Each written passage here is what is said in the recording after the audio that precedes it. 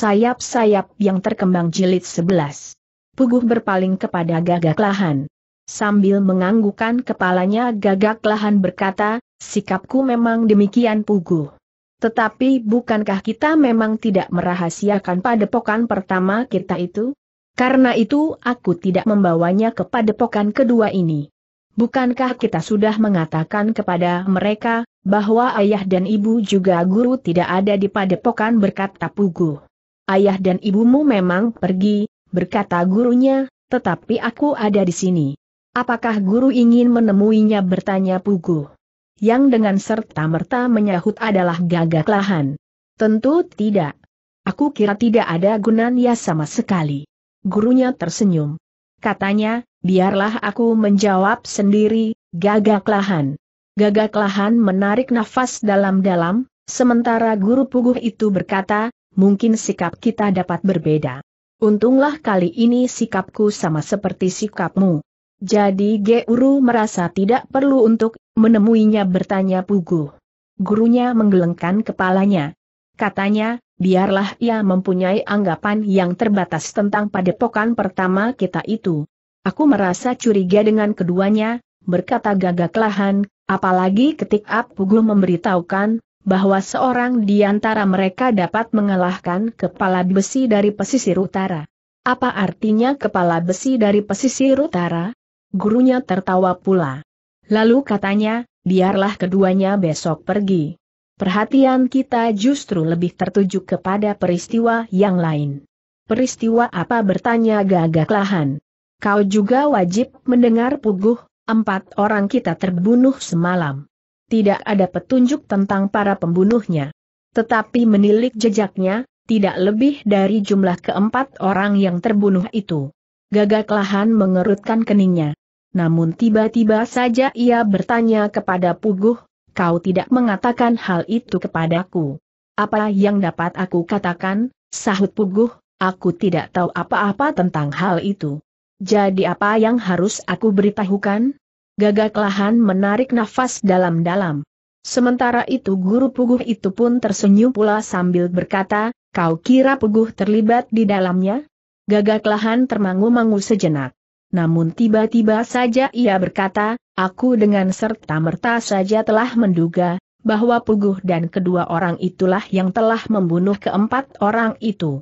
Paman, wajah Puguh menjadi merah, apakah Paman berhak berkata seperti itu? Aku ikut bertanggung jawab, berkata gagak lahan, ayah dan ibumu percaya kepadaku. Dan karena itu maka Paman tidak lagi percaya kepadaku bertanya Puguh. Gagak lahan tidak segera menjawab. Tetapi dari sorot matanya terpancar gejolak di dadanya. Puguh, berkata gurunya, sebaiknya kau memang berhati-hati terhadap kedua orang itu. Aku tidak bertemu langsung dengan mereka, sehingga aku tidak mendapatkan kesan yang bulat tentang mereka. Tetapi kau memang harus berhati-hati menghadapi orang yang baru saja kau kenal termasuk kedua orang yang bara kau kenal di Song Lawa itu. Sementara itu para pengawalmu tidak sempat menyelamatkan diri dari tangan para prajurit pajang. Mungkin para prajurit pajang tidak mempunyai kepentingan apa pun dengan kau dan padepokan ini. Apalagi para pengawalmu itu tidak mempunyai pengenalan yang mendalam tentang padepokan ini selain padepokan pertama. Atau bahkan mungkin pajang sama sekali tidak mempersoalkanmu. Tetapi ada kemungkinan lain, bahwa kedua orang itu juga mempunyai tugas sandi. Tetapi bukankah padepokan pertama dikenal oleh orang-orang padukuhan dan bahkan sampai ke Gantar sebagai padepokan yang wajar saja dan tidak berbuat sesuatu yang merugikan orang lain? Meskipun letaknya yang terpisah, tetapi padepokan pertama mempunyai hubungan dengan orang-orang padukuhan. Orang-orang padukuhan pun tahu bahwa di sekitar padepokan itu terbentang sawah dan petegalan, berkata Pugu. Bagi orang-orang padukuhan memang tidak ada persoalan apa-apa. Tetapi agaknya lain bagi orang-orang berilmu tinggi, jawab gagak lahan.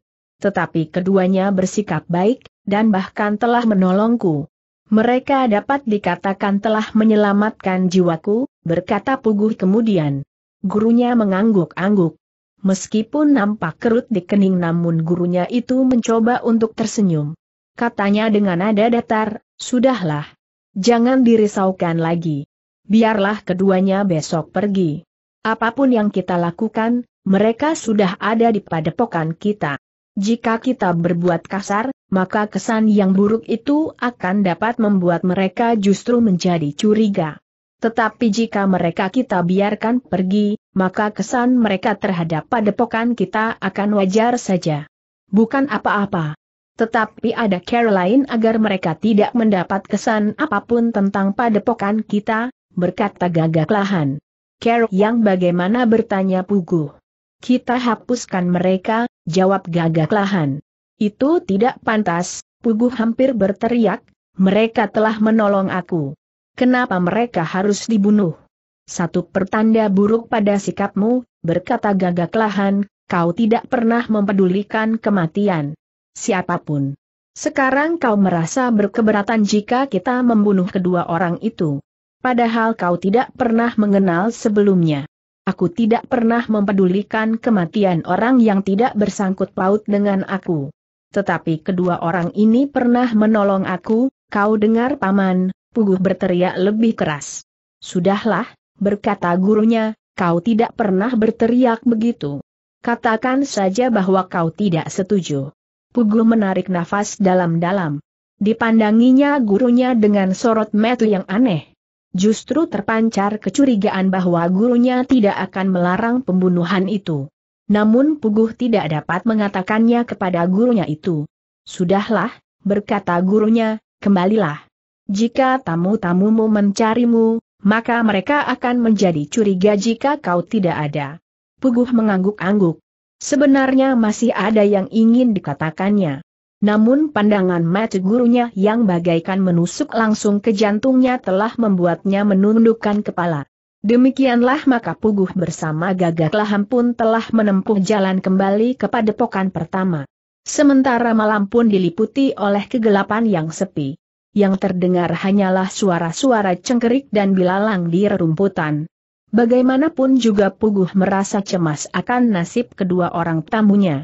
Meskipun jantungnya sudah dilatih untuk menjadi beku menghadapi kematian, namun ternyata dari endapan yang paling dalam, masih juga terangkat ucapan terima kasih kepada dua orang yang dianggapnya telah menolongnya tanpa mengetahui maksud mereka yang sesungguhnya.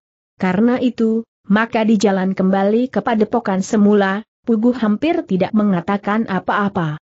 Ia masih saja merenungi sikap dan kata-kata gurunya dan mencoba mencari artinya. Bahkan ia pun menjadi ragu-ragu, apakah yang dimaksud oleh gagak lahan sama dengan maksud gurunya. Ketika keduanya kemudian memasuki padepokannya, maka Puguh pun langsung menuju ke biliknya. Tetapi ia masih menyempatkan diri untuk berjalan melewati bilik yang dipergunakan untuk kedua orang tamunya, Sambi Wulung dan Jati Wulung. Namun agaknya kedua orang tamunya itu masih tertidur nyenyak. Ketika kemudian Puguh berada di biliknya ia pun tidak segera dapat tidur. Berbagai macam persoalan telah bergejolak di dalam hatinya. Memang kadang-kadang ia pun menelungkup sambil menyembunyikan wajahnya dan berkata kepada diri sendiri, aku tidak peduli. Terserah kepada kedua orang itu, apakah mereka dapat melindungi diri mereka sendiri jika gagak lahan benar-benar akan membunuh mereka. Itu bukan salahku. Aku bukannya seorang yang perasaannya lelah mati sebagaimana dikehendaki oleh gagak lahan. Jika kematian itu harus menjemput keduanya, maka itu adalah salah gagak lahan. Tetapi sesaat kemudian, kegelisahan, itu telah menghentak-hentak pula, sehingga ia harus berputar dan tidur menelentang sambil memandang atap. Puguh hanya sempat tertidur beberapa saat saja menjelang dini hari. Ketika kemudian terdengar ayam jantan berkokok, maka ia pun telah terbangun dan keluar dari biliknya. Puguh sendiri tidak tahu, kenapa ketika ia melihat Sambi Wulung dan Jati Wulung yang dikenalnya bernama Waneng Baya dan Waneng Pati itu, ia telah menarik nafas dalam-dalam. Seakan-akan sebuah beban yang berat telah diletakkannya. Ketika Puguh kemudian mendekatinya, ternyata bahwa keduanya justru telah mandi dan membenahi diri. Kau bangun pagi-pagi benar, desis Puguh. Ya, kami masih harus menunaikan kewajiban kami, sahut Sambi Wulung. Kewajiban apa bertanya Puguh. Sambi Wulung tersenyum. Ketika Sambi Wulung dan Jati Wulung kemudian masuk kembali ke dalam bilik mereka, maka ia pun telah duduk di serambi. Beberapa orang pengawal yang mengawasi kedua orang tamu puguh itu dari kejauhan telah berkisar agak menjauh, karena kehadiran Puguh itu telah memberi kesempatan kepada mereka untuk beristirahat. Sejenak kemudian, maka Sambi Wulung dan Jati Wulung pun telah keluar pula dari dalam bilik mereka. Untuk beberapa saat ketiganya sempat berbincang tentang keadaan padepokan itu. Dengan nada rendah Jati Wulung berkata, padepokan ini ternyata memiliki sejumlah cantrik yang telah ditempa sebagaimana para prajurit di Pajang mereka memiliki kesetiaan kepada tugas mereka dan melakukannya dengan sungguh-sungguh. Ya, jawab Puguh, kami menghendaki para cantrik yang taat kepada segala paugeran yang ada di sini. Kami pun ingin bahwa para cantrik kelak akan menjadi orang yang benar-benar memiliki keteguhan kepada sikap dan keyakinannya. Bagus, berkata Jati Wulung, jika ketaatan yang hidup itu ditanamkan sejak dini, maka mereka akan mempunyai keteguhan sikap itu. Apalagi lingkungan kami sebenarnya memang tidak menguntungkan, berkata Pugu. Maksudmu bertanya Jati Wulung. Seperti yang telah kita alami. Tidak terlalu jauh dari padepokan kami terdapat tempat-tempat yang keras dan kasar. Dikehendaki atau tidak dikehendaki, maka harus berusaha untuk mempersiapkan diri sebaik-baiknya. Seperti sebuah kolam yang pada suatu saat akan penuh, maka airnya tentu akan melimpah. Karena itu, maka kita harus bersiap-siap jika mereka ternyata pada suatu saat akan memaksakan kehendak mereka kepada kami, berkata Pugu. Kenapa kalian mendirikan padepokan di sini? Apakah tidak ada tempat lain yang lebih jauh dari tempat-tempat yang garang itu bertanya Sambi Wulung.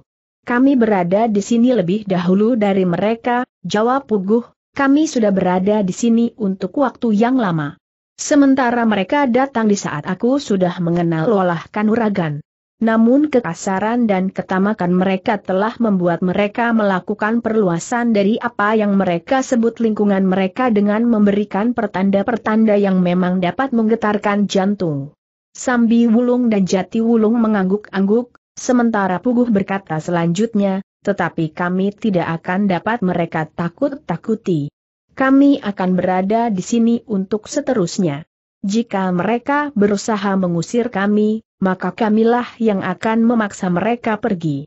Mudah-mudahan tidak ada persoalan, desis Samli Wulung. Puguh menarik nafas dalam-dalam. Namun kemudian dengan nada berat ia berkata, karena itu, Aku justru ingin berpesan kepada kalian. Berhati-hatilah jika kalian nanti meninggalkan padepokan ini. Perjalanan kalian akan dapat terantuk pada ketamakan mereka, karena di beberapa tempat memang telah diletakkan tanda-tanda seperti itu. Aku akan meninggalkan padepokan ini di siang hari, berkata Sambi Wulung. Siang atau malam tidak ada bedanya, jawab Pugu. Sambi Wulung mengangguk-angguk. Sementara itu Jati. Wulung pun berkata, apakah tidak ada jalan ya NG aman keluar dari padukuhan ini? Bagaimana jika kami kembali ke Gantar sebagaimana kami datang? Tentu. Kalian memang harus melalui Gantar. Namun yang aku cemaskan adalah, jika kalian tiba-tiba saja bertemu dengan orang-orang yang telah memasang tanda-tanda itu. Meskipun jalan dari padepokan ini ke Gantar tidak ada tanda-tanda itu, tetapi bahaya akan dapat kalian temui setiap saat, berkata Pugu. Apakah hal itu juga berlaku bagi penghuni padepokan ini bertanya Jati Wulung. Jika mereka mengenali orang dari padepokan ini, mereka memang tidak akan mengganggu karena mereka juga harus memperhitungkan kemungkinan akan datangnya pembalasan. Tetapi bukankah kalian bukan orang padepokan ini bertanya Pugu. Tetapi kami adalah tamumu, berkata Jati Wulun G, bukankah akan dapat terjadi kemungkinan yang sama karena kau tentu akan merasa tersinggung. Soalnya adalah bahwa mereka tidak mengenal kalian sebagai tamuku. Apa pun yang akan aku lakukan kemudian, Jika kau sudah ditelan oleh bencana, maka kalian tidak akan dapat dipulihkan kembali, berkata Puguh. Jika demikian, apakah sebaiknya kami tetap di sini bertanya Jati Wulung? Tidak, jawab Puguh, sebaiknya kalian meninggalkan padepokan ini segera. Ada di antara orang-orang padepokan ini yang mencurigai kalian. Kenapa kami dicurigai bertanya Sambi Wulung? Kalian memang pantas dicurigai. Aku pun kadang. Kadang masih bertanya-tanya, kenapa kalian begitu? Memaksa untuk mengikuti aku datang ke padepokan ini. Aku pun menjadi heran begitu mudahnya kau membunuh orang-orang yang menyerang kita di dekat tanda yang menakutkan itu, jawab Puguh. Jadi ada di antara kalian, dan bahkan kau, yang mencurigai kami, bahwa justru kami adalah orang-orang yang dikirim oleh kelompok yang membayangi padepokanmu ini. Mungkin kami dengan sengaja berusaha memasuki padepokan ini untuk melihat-lihat keadaan di dalamnya, bahkan kekuatan yang tersimpan di sini bertanya Jati Wulung. Orang yang menaruh kecurigaan kepada orang lain kadang-kadang tidak memikirkan alasan yang tepat. Atau bahkan telah membuat alasan-alasan yang tidak perlu masuk akal, jawab Pugu. Jati Wulung mengangguk-angguk. Katanya, baiklah. Kami akan meninggalkan padepokan itu siang ini. Wajah Puguh tiba-tiba menjadi suram. Dengan nada rendah ia berkata, aku minta maaf, bahwa aku tidak dapat memberikan kesempatan kepada kalian untuk beristirahat di sini tetapi aku tetap merasa berterima kasih kepada kalian atas segala pertolongan kalian. Tanpa kalian, mungkin aku tidak akan dapat pulang ke padepokan ini. Sambi Wulung dan Jati Wulung tersenyum. Yang menjawab adalah Sambi Wulung, aku dapat mengerti. Orang-orang padepokan ini tidak melihat dan tidak mengalami apa yang terjadi sebagaimana kau alami sepanjang perjalanan kembali dari Song Lama. Karena itu maka mereka tidak dapat membayangkannya dengan baik dan bahkan yang timbul adalah kecurigaan. Apalagi jika kau sendiri juga menjadi curiga. Pugu menundukkan kepalanya. Dengan nada berat ia berkata, aku minta maaf. Aku benar-benar tidak dapat berbuat lebih baik meskipun kalian telah menyelamatkan aku. Sekali lagi aku berpesan berhati-hatilah kalian di perjalanan bukan saja di jarak antara padepokan ini sampai ke Gantar. Tetapi juga setelah kalian meninggalkan Gantar menuju ke mana pun. Terima kasih atas peringatan itu, jawab Sambi Wulung. Namun ketika keduanya akan meninggalkan padepokan itu segera, Puguh masih minta agar mereka makan lebih dahulu. Aku tahu kalian mempunyai bekal uang cukup banyak. Kalian dapat singgah di kedai dan makan apa pun yang kalian inginkan. Tetapi aku minta kalian makan di sini sekali lagi sebelum kalian pergi, berkata Pugu. Keduanya tidak menolak. Mereka pun kemudian makan bersama-sama dengan Puguh dan Gagak Lahan. Baru setelah makan, keduanya telah minta diri. Ternyata Gagak Lahan cukup ramah menghadapi keduanya.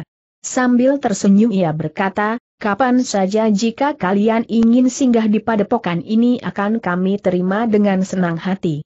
Sebenarnya kehadiran orang-orang yang memiliki nama seperti kalian sangat menyenangkan. Sayang, bahwa kalian hanya bersedia bermalam satu malam saja. Sambi Wulunglah yang menjawab, terima kasih kisanak. Pada kesempatan lain, kami akan singgah. Demikianlah, maka sejenak kemudian kedua orang itu pun telah meninggalkan padepokan itu. Mereka tidak perlu mencari-cari jalan keluar menuju Gantar. Pengenalan mereka sebagai pengembara sangat tajam, sehingga sekali mereka lewat, mereka akan dapat mengingatnya dengan baik. Dalam pada itu, sepeninggal Sambi Wulung dan Jati Wulung, Gagak Leham pun berkata, benar-benar mencurigakan. Kau tidak usah menghiraukan apa yang akan terjadi atas mereka. Puguh tidak menjawab. Tetapi ia pun segera pergi meninggalkan orang yang dianggapnya pamannya itu. Sementara itu, Sambi Wulung dan Jati Wulung telah berada di perjalanan menuju ke Gantar. Dengan nada rendah Jati Wulung bergumam seakan-akan ditujukan kepada dirinya sendiri, Puguh tentu menjadi bingung. Kecurigaan orang-orang pada pokan itu membuatnya kehilangan sikap terhadap kami. Sekali-sekali ia memperingatkan agar kami berhati-hati menghadapi gerombolan yang memasang tanda-tanda topeng kecil itu. Tetapi pada saat yang lain, ia justru mencurigai bahwa kami adalah bagian dari orang-orang yang membayangi padepokannya dengan pertanda-pertanda itu dan bahkan sikap yang keras dan kasar. Sambi Wulung mengangguk-angguk. Katanya, kecurigaan itu tentu tidak bersumber pada Pugu. Tentu saja orang-orang padepokan itu tidak akan menuduh kita berasal dari gerombolan yang membayangi padepokan itu, karena aku justru menganggap bahwa di samping padepokan yang kita lihat itu, tentu ada padepokan bayangan. Nah, padepokan bayangan itulah yang telah membentuk diri menjadi padepokan yang keras, kasar dan mencerminkan watak yang sebenarnya dari orang tua Pugu. Jadi gerombolan yang lain bukannya membayangi padepokan yang baru saja kita kunjungi, tetapi justru bayangannya yang jauh lebih gelap dan kelam. Memang masuk akal, jawab Jati Wulung, dua padepokan dengan dua wajah yang berbeda, tetapi di bawah satu perintah. Tetapi mengenai Puguh sendiri, agaknya ia mulai berpikir tentang dirinya sendiri. Ya, sahut Sambi Wulung, jika kita sempat berhubungan dengan anak muda itu lebih lama, maka kita akan dapat membuka pikirannya. Aku masih mempunyai kepercayaan kepadanya.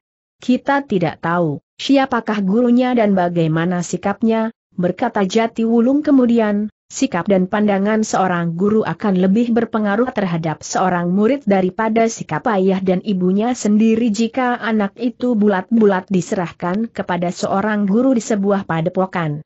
Tetapi pertanda topeng kecil itu adalah satu gambaran sikap padepokan bayangan dari padepokan puguh itu, berkata Sambi Wulung kemudian.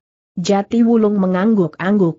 Tetapi sebenarnya lah mereka pun belum dapat menemukan satu keyakinan yang bulat. Semuanya masih merupakan dugaan-dugaan meskipun mereka mempunyai alasan-alasan yang kuat. Namun dalam pada itu, Sambi Wulung pun berkata, bagaimanapun juga peringatan puguh agar kami berhati-hati itu merupakan peringatan yang benar-benar harus kita perhatikan tentu ia telah mendengar satu rencana yang akan diterapkan terhadap kita berdua. Jati Wulung menarik nafas dalam-dalam. Memang banyak hal yang dapat terjadi. Namun sambil melangkah terus ia berkata, apa salahnya untuk selalu berhati-hati. Sebagaimana saat mereka datang, maka mereka pun telah menempuh jalan kembali melalui gantar. Jalan yang melewati tepi hutan yang lebat hutan yang masih dihuni segala macam binatang buas dan ular-ular raksasa yang berkeliaran. Tetapi kedua orang yang mempunyai pengalaman yang luas itu sama sekali tidak gentar, sebagaimana orang-orang padepokan puguh yang justru sering berburu binatang di hutan itu. Tetapi keduanya pun sama sekali tidak mendapat gangguan dari binatang-binatang buas di hutan itu, sehingga akhirnya mereka pun telah menempuh jalan yang menjauhi hutan itu, memasuki padang perdu yang gersang. Panas matahari yang mulai mencubit kulit mereka telah memanasi pular rumputan di padang perdu itu. Daun-daun yang menua telah menjadi kuning dan kemudian berguguran di tanah. Namun kedua orang itu berjalan terus. Meskipun keringat mulai membasahi tubuh mereka, tetapi mereka tidak merasa segan untuk melangkah terus. Akhirnya, mereka pun mulai memasuki tanah persawahan yang digarap oleh orang-orang padukuhan kecil yang tersebar. Dari padukuhan yang satu sampai ke padukuhan berikutnya, mereka tidak lagi merasa terpanggang oleh panasnya matahari yang meskipun menjadi semakin tinggi. Beberapa batang pohon turi tumbuh berjajar di pinggir jalan. Meskipun daunnya tidak terlalu lebat, tetapi cukup perimbun untuk melindungi para pejalan kaki di tengah-tengah bulak itu. Ketika mereka mendekati padukuhan induk Kademangan Gantar, Jati Wulung pun berkata, sampai di sini kita tidak menemukan hambatan apa pun juga. Sambi Wulung mengangguk-angguk. Katanya, kita baru sampai ke Gantar. Kita tidak tahu apa yang akan terjadi setelah kita melewati Gantar ini. Apakah mereka tahu, dari gantar kita akan pergi ke mana bertanya Jati Wulung? Mereka mempunyai seribu mata yang tersebar di sekitar padepokan mereka dan mempunyai seribu telinga yang dipasang di pepohonan di pinggir-pinggir jalan, jawab Sambi Wulung. Jati Wulung pun mengangguk-angguk. Katanya, baiklah. Apa pun yang akan mereka lakukan, asal saja kita berhati-hati. Bahkan mungkin mereka akan dapat berbuat sesuatu atas kita dengan cara yang sangat licik dan tidak kita duga sebelumnya. Ya, memang mungkin saja terjadi. Sedangkan kita tidak akan membiarkan diri kita diterkam oleh bencana apa pun juga, sahut Sambi Wulung. Jati Wulung mengangguk-angguk. Namun ia tidak menjawab lagi. Perhatiannya mulai tertuju kepada kademangan induk di hadapan mereka. Demikian mereka memasuki padukuhan induk kademangan gantar, maka mereka bersepakat untuk singgah di sebuah kedai. Bukan sekedar untuk melepas haus dan lapar. Tetapi mereka ingin mendengar pembicaraan orang di kedai itu tentang keadaan kademangan mereka. Namun ternyata bahwa orang-orang yang berada di kedai itu tidak seorang pun yang mengeluh tentang peristiwa-peristiwa buruk yang pernah terjadi karena kelakuan orang-orang jahat. Bahkan rasa-rasanya padukuhan induk itu memang tenang dan tenteram. Tetapi keduanya memang tidak dapat menganggap bahwa diri mereka telah terlepas dari kemungkinan buruk sebagaimana diperingatkan oleh Pugu. Seperti yang pernah kita bicarakan, berkata Jati Wulung, biasanya sekelompok penjahat tidak melakukan kejahatan atas tetangga sendiri. Di kedai itu mereka tidak mendapatkan keterangan apa-apa tentang hubungan antara Gantar dengan orang-orang di padukuhan yang dihuni oleh Puguh, maupun padepokan atau gerombolan lain yang telah memasang pertanda tertentu di tempat-tempat yang dianggap lingkungan mereka agar tidak disentuh oleh orang lain. Karena itu, maka Sambi Wulung dan Jati Wulung itu pun telah melanjutkan perjalanan mereka meninggalkan padukuhan induk Gantar.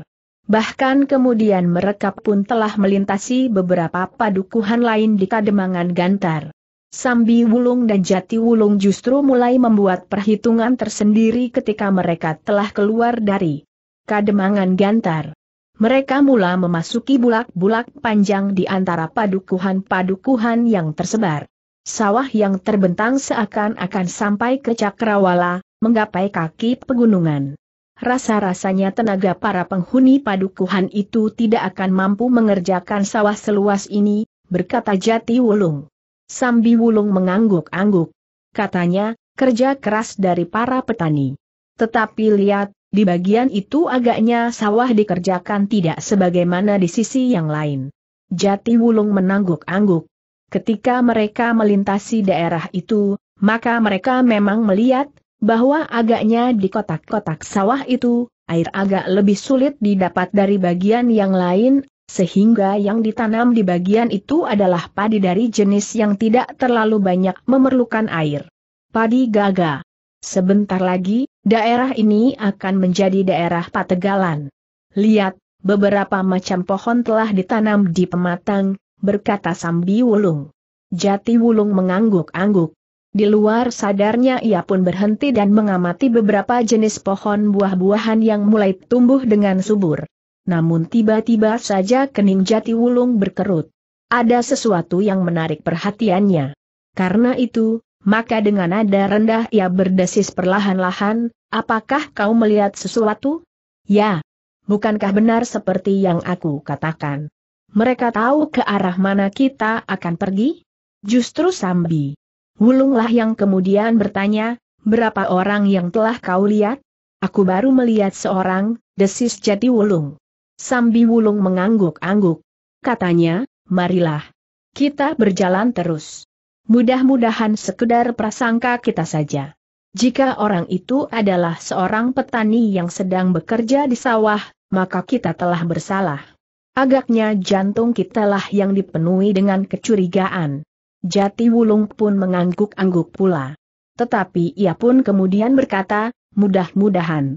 Tetapi seorang petani tidak akan langsung berusaha menghilang di balik tanaman di sawah melihat kehadiran kita.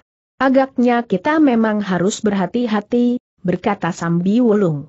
Demikianlah maka kedua orang itu telah melanjutkan perjalanan mereka, melintasi bulak panjang jang sepi. Rasa-rasanya orang-orang yang mengerjakan sawah pun tidak kelihatan pula. Sementara itu tanaman padi yang tumbuh semakin besar agaknya sudah perlu disiangi. Namun kedua orang itu terkejut ketika tiba-tiba saja mereka melihat sebatang anak panah yang luncur ke udara dari balik sebongkah batu padas. Sambi Wulung dan Jati Wulung berpandangan sejenak. Sementara itu matahari telah mulai turun di belahan langit sebelah barat. Dengan dahi yang berkerut Sambi Wulung berkata, Enah, kita sudah harus melakukannya. Apa boleh buat? Kita tidak dapat sekedar bermain-main. Mungkin kita benar-benar harus membunuh dalam keadaan seperti ini. Mereka tentu sudah memperhitungkan kemampuan kita, berkata Jati Wulung. Sambi Wulung menarik nafas dalam-dalam. Katanya, marilah, kita berjalan terus. Keduanya pun berjalan terus. Seakan-akan mereka tidak menghiraukan anak panah yang terbang melintasi jalan yang mereka lalui.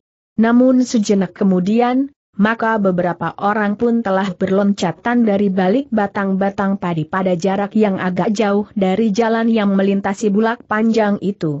Mereka pun sangat berhati-hati, berkata Sambi Wulung, mereka mengikuti kita dari jarak yang sangat jauh. Satu pertanda bahwa mereka memperhitungkan banyak kemungkinan. Agaknya Puguh telah menceritakan apa yang terjadi di Song Lawa, desis Jati Wulung. Sambi Wulung mengangguk-angguk. Justru karena mereka mengetahui tataran kemampuan mereka berdua, maka mereka agaknya telah bertindak sangat berhati-hati. Tetapi Sambi Wulung dan Jati Wulung berjalan terus tanpa menghadapi segala kemungkinan. Namun dalam pada itu, Sambi Wulung sempat berbisik, tentu bukan rencana Puguh. Justru anak muda itu telah memberikan isyarat kepada kita untuk berhati-hati. Jati Wulung mengangguk sambil menjawab, ya, bukan salah anak muda itu. Dalam pada itu, Sambi Wulung dan Jati Wulung menyadari, bahwa beberapa orang telah menitip pematang, mendahului perjalanan mereka. Beberapa orang di antara mereka telah meloncati parit dan kemudian berada di jalan yang dilalui oleh kedua orang itu. Nampaknya mereka tidak begitu cerdas berpikir, berkata Jati Wulung. Sambi Wulung tersenyum. Katanya, nampaknya orang itu berilmu tinggi. Tetapi otaknya memang agak tumpul. Yang lain tentu lebih dungu lagi meskipun mereka sudah terbiasa melakukan tindak kekerasan. Keduanya tidak berbicara lagi. Tetapi perhatian mereka tertuju kepada seorang di antara mereka yang mempergunakan topeng. Kedua orang itu langsung dapat mengenalinya meskipun wajahnya tidak kelihatan. Selain bentuk tubuhnya, juga karena orang itu justru memakai topeng, sementara yang lain tidak. Dengan demikian orang itu tentu berusaha menyembunyikan wajahnya yang sudah dikenal oleh kedua orang yang dicegatnya. Karena itu, demikian orang itu berdiri di tengah jalan dengan tangan bertolak pinggang, maka Sambi Wulung dan Jati Wulung pun berdesis hampir bersamaan, gagak lahan. Sementara itu Sambi Wulung dan Jati Wulung pun sempat menghitung orang-orang yang kemudian telah berloncatan pula dan berdiri di sebelah menyebelah orang bertopeng itu. Enam orang, berkata Jati Wulung. Jumlah yang berat, berkata Sambi Wulung. Apa boleh buat, jawab Jati Wulung. Namun dalam pada itu, keduanya masih saja berjalan terus. Keduanya baru berhenti ketika orang-orang itu mengangkat tangannya dan memberikan isyarat kepada keduanya untuk berhenti. Kenapa kau menghentikan perjalanan kami kisanak bertanya Sambi Wulung. Kau telah berada di dalam daerah kekuasaanku tanpa izinku, jawab orang bertopeng itu. Suaranya serak dan bergetar di balik topengnya. Namun Sambi Wulung dan Jati Wulung mengerti, bahwa orang itu berusaha untuk tidak dikenali. Orang itu menjadi heran, bahwa kedua orang yang dihentikan itu perhatiannya justru pada topengnya. Jati Wulung sambil tersenyum bertanya, kenapa kau memakai topeng, sementara kawan-kawanmu tidak? Orang itu memang agak menjadi bingung untuk menjawab. Namun kemudian katanya, tidak semua orang boleh mengenal wajahku yang sebenarnya. Hanya orang-orang penting sajalah yang pantas untuk melihat wajahku. Apakah wajahmu cacat bertanya jati wulung pula, bibirmu sumbing misalnya. atau matamu buta sebelah atau hidungmu gerumpung. Cukup, orang itu berteriak, kami datang untuk membunuhmu. Sambi Wulung justru tertawa. Katanya, jika kau marah, maka kau telah lupa merubah suaramu. Apalagi saat suaramu melengking, meskipun di balik topengmu. Telinga orang itu bagaikan disentuh api. Sementara Jati Wulung justru bertanya, siapakah kau sebenarnya Kisanak? Apakah kau yang bernama Gagak Lahan? Anak iblis, orang itu mengumpat, tidak ada hubungannya dengan Gagak Lahan. Bukalah topengmu.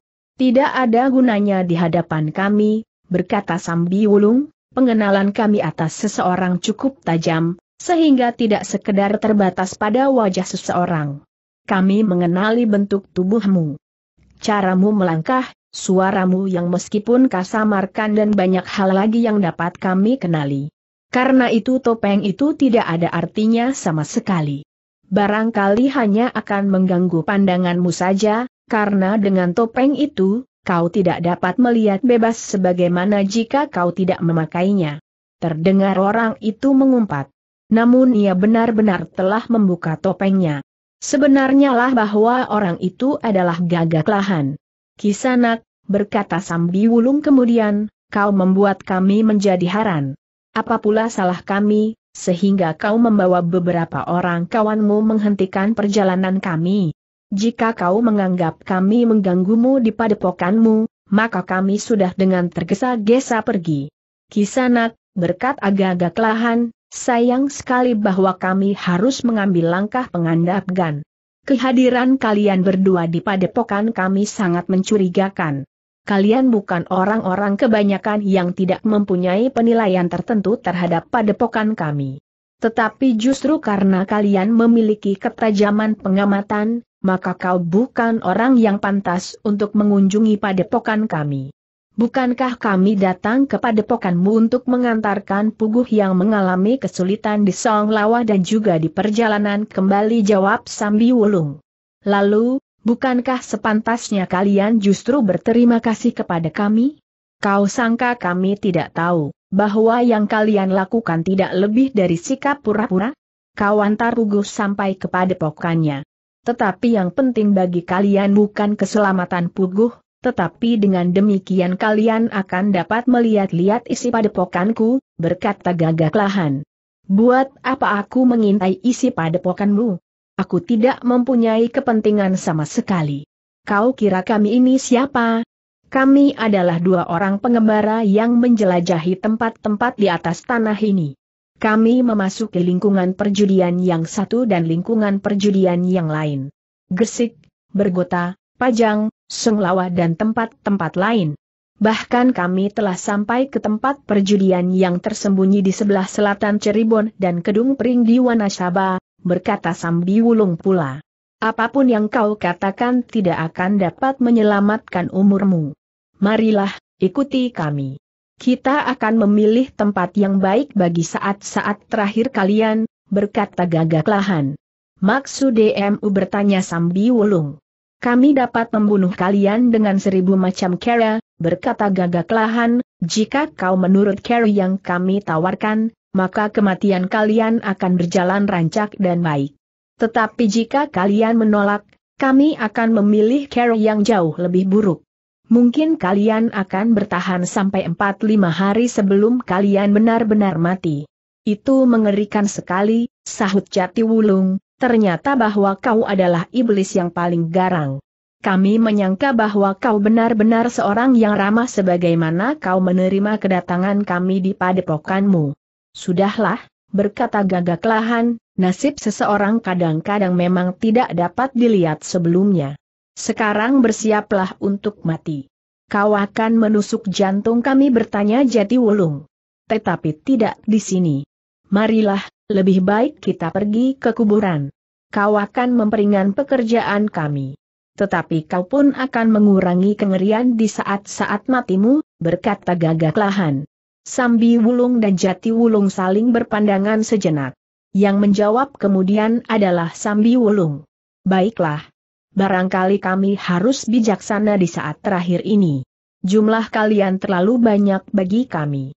Bagus, berkata Gagak Lahan, berjalanlah, ke mana bertanya Sambi Wulung. Ikuti jalan ini.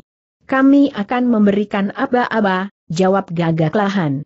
Sambi Wulung dan Jati Wulung tidak membantah. Mereka berjalan sambil menundukkan kepala. Sementara beberapa orang mengikutinya di belakang.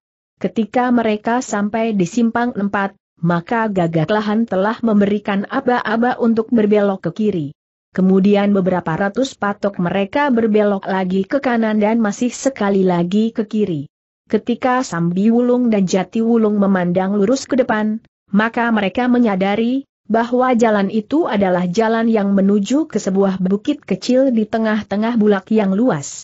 Di atas bukit kecil itu terdapat sebuah kuburan tua yang sudah tidak dipergunakan lagi kecuali membiarkan kuburan itu sebagaimana adanya. Sambi Wulung dan Jati Wulung sempat berpandangan sejenak.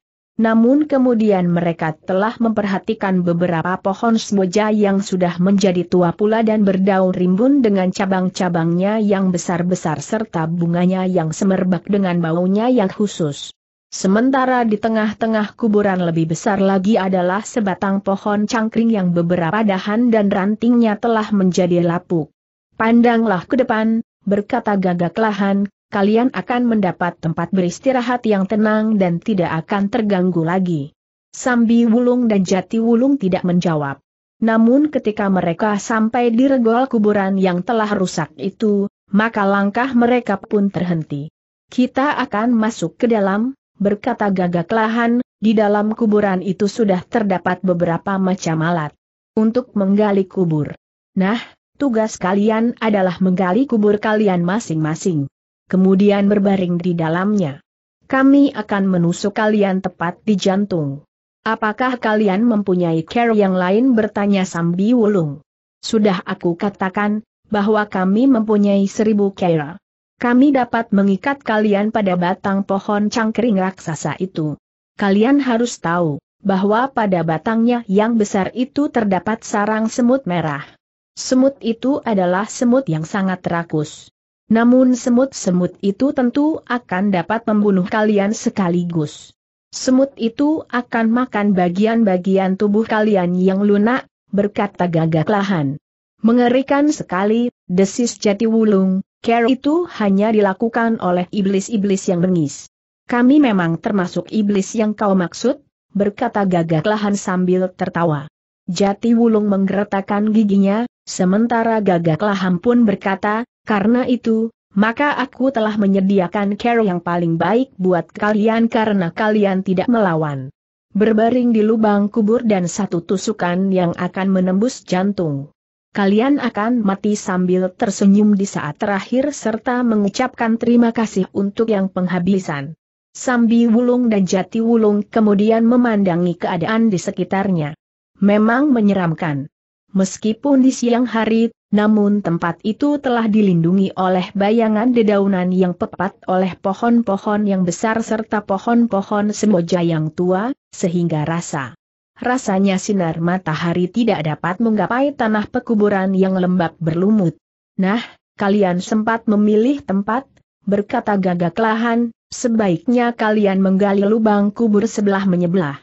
Mungkin di dalam kubur kalian sempat berbincang. Sambi Wulung dan Jati Wulung masih memandang berkeliling. Namun kemudian Sambi Wulung pun berkata, maaf kisanak. Tidak ada tempat yang menarik bagiku di sini. Apakah tidak ada tempat lain yang lebih baik? Yang tidak terlindung bayangan rimbunnya dedaunan sehingga nampak gelap dan menyeramkan.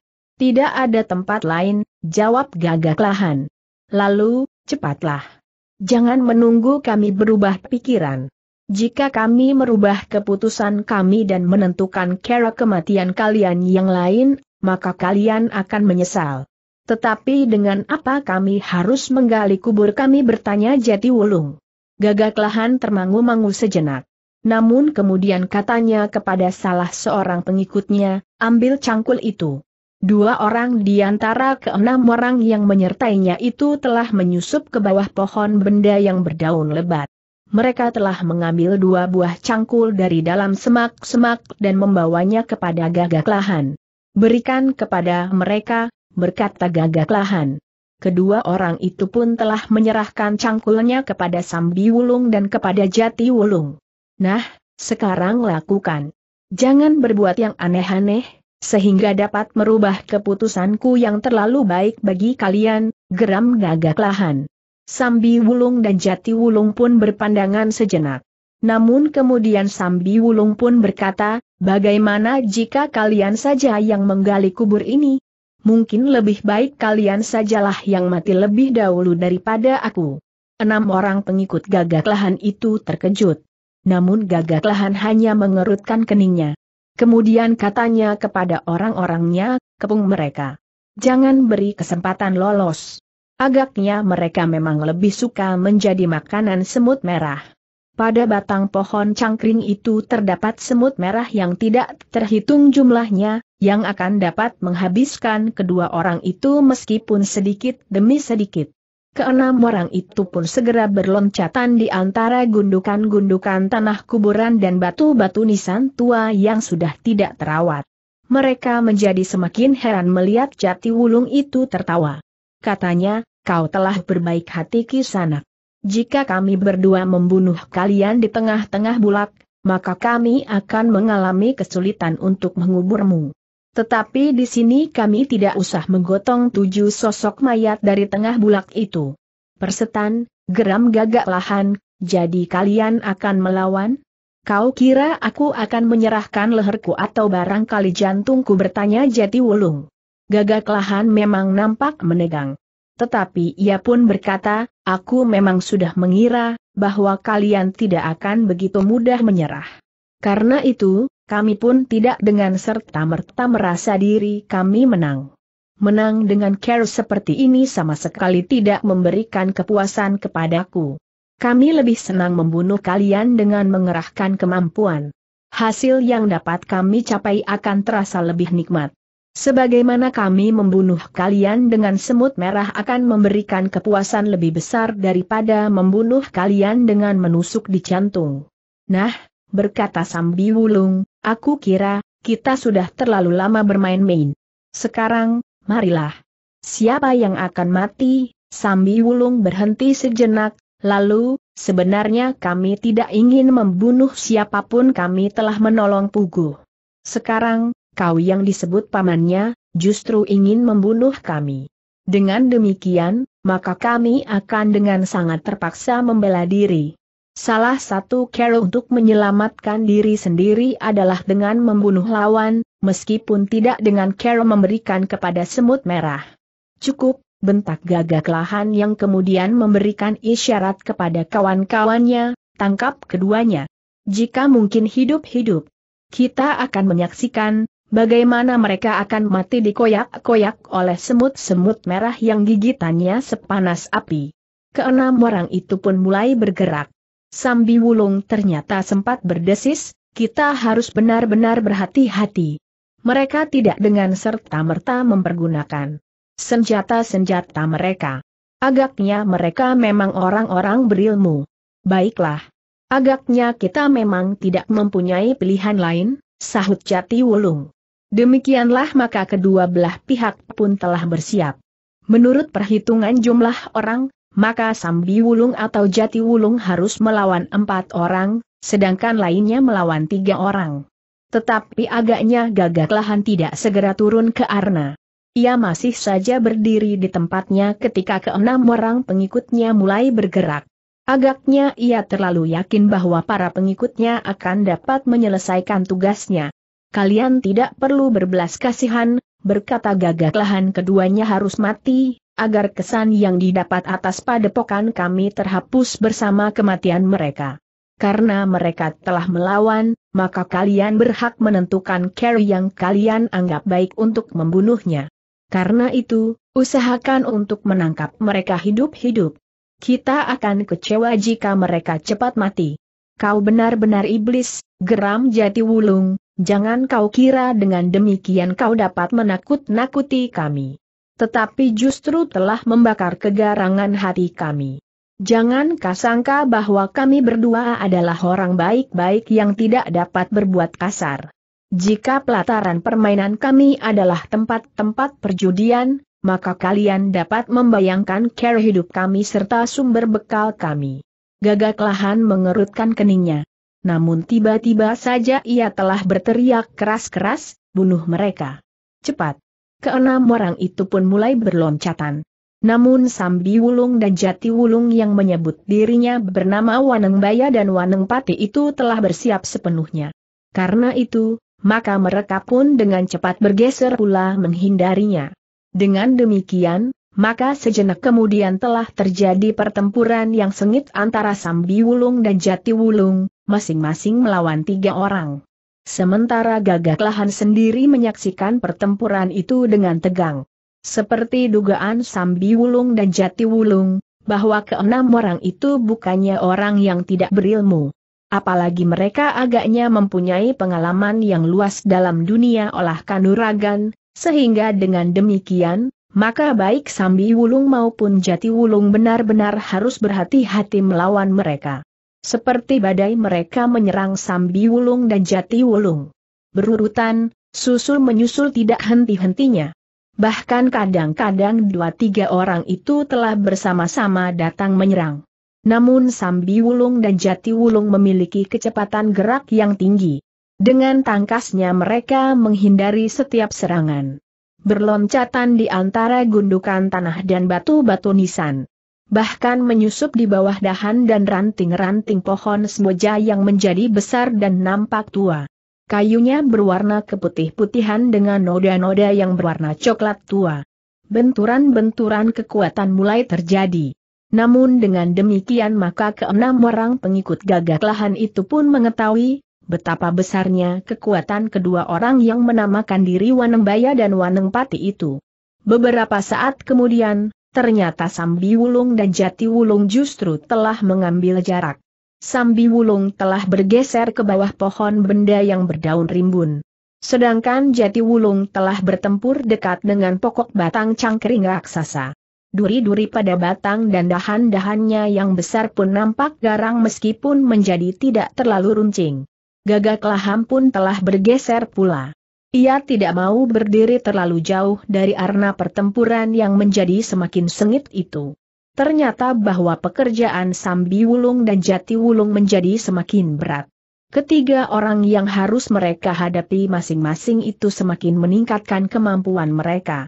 Mereka berloncatan dengan tangkasnya, sementara tangan dan kaki mereka menyambar-nyambar. Tetapi Sambi Wulung dan Jati Wulung telah memanfaatkan tempat yang ada. Ternyata bahwa ketiga orang yang harus mereka lawan masing-masing itu tata geraknya memang terhambat oleh batu-batu nisan tua yang sudah tidak terawat. Bahkan sekali-sekali dalam keadaan yang tergesa-gesa, kaki mereka justru telah terantuk batu-batu nisan itu. Gagak lahan memperhatikan pertempuran itu dengan sungguh-sungguh.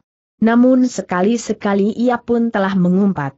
Ternyata bahwa tiga orangnya tidak segera dapat mengatasi hanya seorang saja di antara lawan-lawan mereka.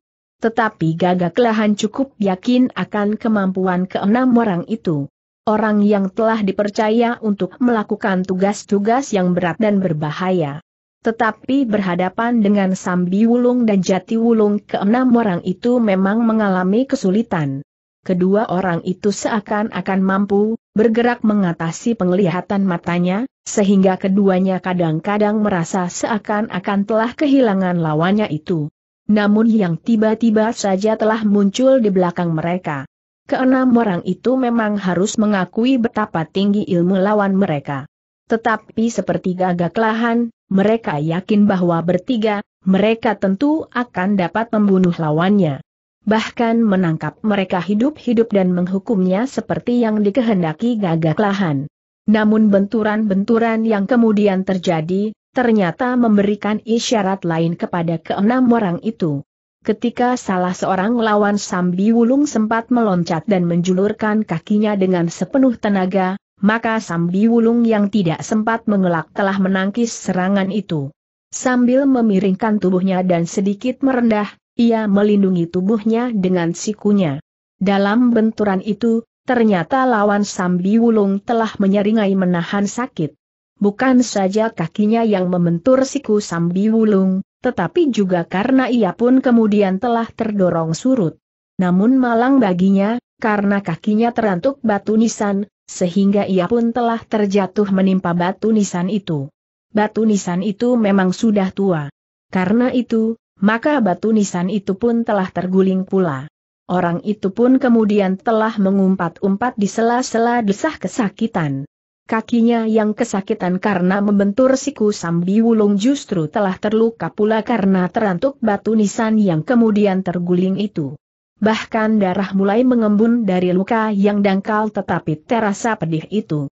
Apalagi ketika luka itu menjadi basah karena keringatnya sendiri. Namun sambil menggeram orang itu pun segera bangkit. Dengan menggeretakkan giginya ia dapat mengatasi perasaan sakit itu. Sehingga sejenak kemudian, maka ia pun telah meloncat memasuki arena pertempuran kembali. Tetapi demikian ia mulai menyerang, maka seorang kawannya justru telah terbungkuk-bungkuk sambil memegangi perutnya. Sambi wulung yang berputar satu lingkaran dan bertumpu dengan sebelah kakinya, telah menyambar perut orang itu dengan tumit kakinya yang lain. Orang itu pun telah bergeser surut. Perutnya menjadi mual. Rasa-rasanya isinya akan tumpah keluar. Tetapi Sambi Wulung tidak dapat memburunya, karena orang yang terjatuh menimpa batu nisan itu telah memasuki arna pula dengan garangnya. Bahkan teriakannya bagaikan meruntuhkan dahan-dahan pohon benda yang rimbun itu. Sementara itu di bawah pohon cangkring, jati wulung pun bertempur dengan sengitnya. Tidak banyak batu nisan yang bertebaran di bawah batang cangkring itu.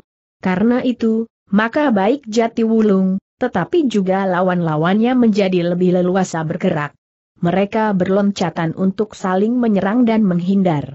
Namun ternyata Jati Wulung nampak lebih keras daripada Sambi Wulung menghadapi orang-orang yang kasar itu. Semakin kasar ketiga orang yang bertempur melawannya, maka Jati Wulung pun menjadi semakin keras pula. Dengan garangnya Jati Wulung berloncatan menyerang ketiga orang lawannya berganti-ganti. Semakin lama menjadi semakin cepat.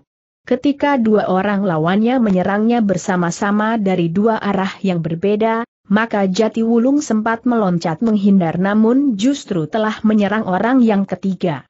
Demikian tiba-tiba sehingga orang itu justru terkejut karenanya. Namun orang ketiga itu masih juga berusaha menangkis serangan Jati Wulung. Tetapi sambil menggeliat, Jati Wulung telah mengurungkan serangan kakinya tetapi tangannya lah yang kemudian terayun mendatar. Sehingga dengan punggung tangannya yang mengepal, maka ia telah menghantam tengkuk orang itu. Orang itu terdorong beberapa langkah. Betapapun ia berusaha tetapi ia telah kehilangan keseimbangannya, sehingga ia pun kemudian telah jatuh terjerembab. Untunglah bahwa dahinya tidak membentur batu nisan yang sejengkal terbujur di hadapannya. Namun demikian, wajahnya bagaikan dilumuri dengan debu tanah pekuburan tua. Orang itu pun kemudian bangkit sambil membersihkan wajahnya dengan lengan bajunya. Dengan kasar ia pun telah mengumpat-umpat. Aku bunuh kau orang gila, teriaknya. Dengan garang orang itu pun kemudian telah meloncat memasuki arena kembali. Namun bagaimanapun juga, Orang-orang yang melawan Sambi Wulung dan Jati Wulung itu semakin lama harus mengakui bahwa lawannya memang seorang yang berilmu tinggi. Bahkan semakin lama tangan Sambi Wulung dan Jati Wulung itu rasa-rasanya menjadi semakin bergerak, berputaran dan terayun ke segala arah. Satu-satu Sambi Wulung dan Jati Wulung menyentuh tubuh lawannya semakin sering. Setiap serangan yang mengenai tubuh lawannya terasa bagaikan meremukan tulang. Karena itu, Semakin sering serangan kedua orang itu mengenai lawannya, maka tubuh lawan-lawan mereka pun serasa menjadi semakin sakit. Bahkan seorang di antara lawan Sambi Wulung rasa-rasanya tidak lagi dapat mendekati lawannya karena lambungnya yang sakit. Bahkan sebelah matanya bagaikan tertutup oleh noda yang kebiruan karena pukulan Sambi Wulung di wajahnya. Sehingga orang itu merasa tidak lagi dapat bergerak dengan cepat mengimbangi pertempuran yang semakin seru itu. Dalam pada itu gagak lahan menjadi cemas. Semula ia memang yakin bahwa dalam waktu singkat, keenam orangnya itu akan dapat menyelesaikan dua orang betapapun orang itu berilmu tinggi. Tetapi semakin lama pertempuran itu berlangsung, maka ia pun menjadi semakin ragu. Orang yang matanya mulai membengkak itu, tidak mau membiarkan keadaan menjadi semakin parah. Karena itu, betapapun ia harus mempertimbangkan harga diri, namun akhirnya ia pun telah menarik senjatanya. Sebilah pedang yang tajam berkilat-kilat. Sambi Wulung meloncat dua langkah surut, sehingga ia pun berdiri hampir bersandar pada batang pohon benda yang besar itu. Orang yang matanya membengkak dan lambungnya terasa sakit sekali itu maju perlahan-lahan. Sambil mengacukan pedangnya ia berkata, sebenarnya aku ingin menangkap kau hidup-hidup. Tetapi kami tidak dapat menolak kenyataan, bahwa kau mampu bergerak demikian cepatnya. Namun itu bukan pertanda bahwa kau akan dapat keluar dari kuburan ini. Sambi Wulung tidak segera menjawab. Ia memalingkan wajahnya memandang kepada kedua orang lawannya yang lain. Namun karena salah seorang di antara mereka telah menarik senjatanya, maka yang dua orang itu pun telah menggenggam senjatanya pula di tangan. Ketiga orang lawan Sambi Wulung masing-masing telah memegang pedang. Meskipun bentuknya berbeda, namun agaknya ketiganya memiliki ilmu pedang yang baik. Bahkan seorang di antara mereka telah memegang pedang di tangan kanannya, sedang di tangan kirinya tergenggam sebuah pisau belati yang agak panjang. Ketika ketiga orang itu mulai menggerakkan senjata mereka, maka nampaknya ilmu pedang mereka memang meyakinkan. Karena itu, maka Sambi Wulung tidak mau membiarkan dirinya dikoyak-koyak oleh ujung-ujung pedang yang runcing tajam itu. Demikian lawan-lawannya menjadi semakin dekat, maka Sambi Wulung pun telah menarik pedangnya pula. Pedangnya memang bukan pedang pilihan dan mempunyai kekuatan khusus. Tetapi ilmu pedang Sambi Wulunglah yang memiliki kelebihan dari orang lain. Sejenak kemudian, maka ketiga orang lawan Sambi Wulung itu telah menjulurkan pedang mereka masing-masing. Namun dalam pada itu gagak lahan masih berteriak, jangan biarkan orang itu cepat mati. Kau ingin tahu, seberapa tinggi daya tahannya menghadapi tekanan pada tubuhnya. Biarlah ia mati perlahan-lahan, sehingga untuk beberapa hari kita akan mempunyai tugas menengoknya kemari. Kalian benar-benar iblis yang tidak pantas diberi kesempatan untuk tetap hidup, geram Sambi Wulung yang benar-benar merasa muak dengan sikap orang-orang itu. Sejenak kemudian, maka seorang di antara lawan-lawannya telah mulai menjulurkan pedangnya untuk menyerang. Sambi Wulung tidak kenangkis serangan itu. Tetapi ia bergeser melangkah surut.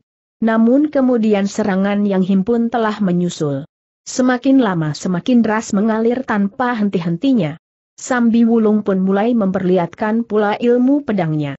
Dengan cepat pedangnya berputar, terayun mendatar, menyambar dengan derasnya untuk kemudian mematuk ke arah jantung.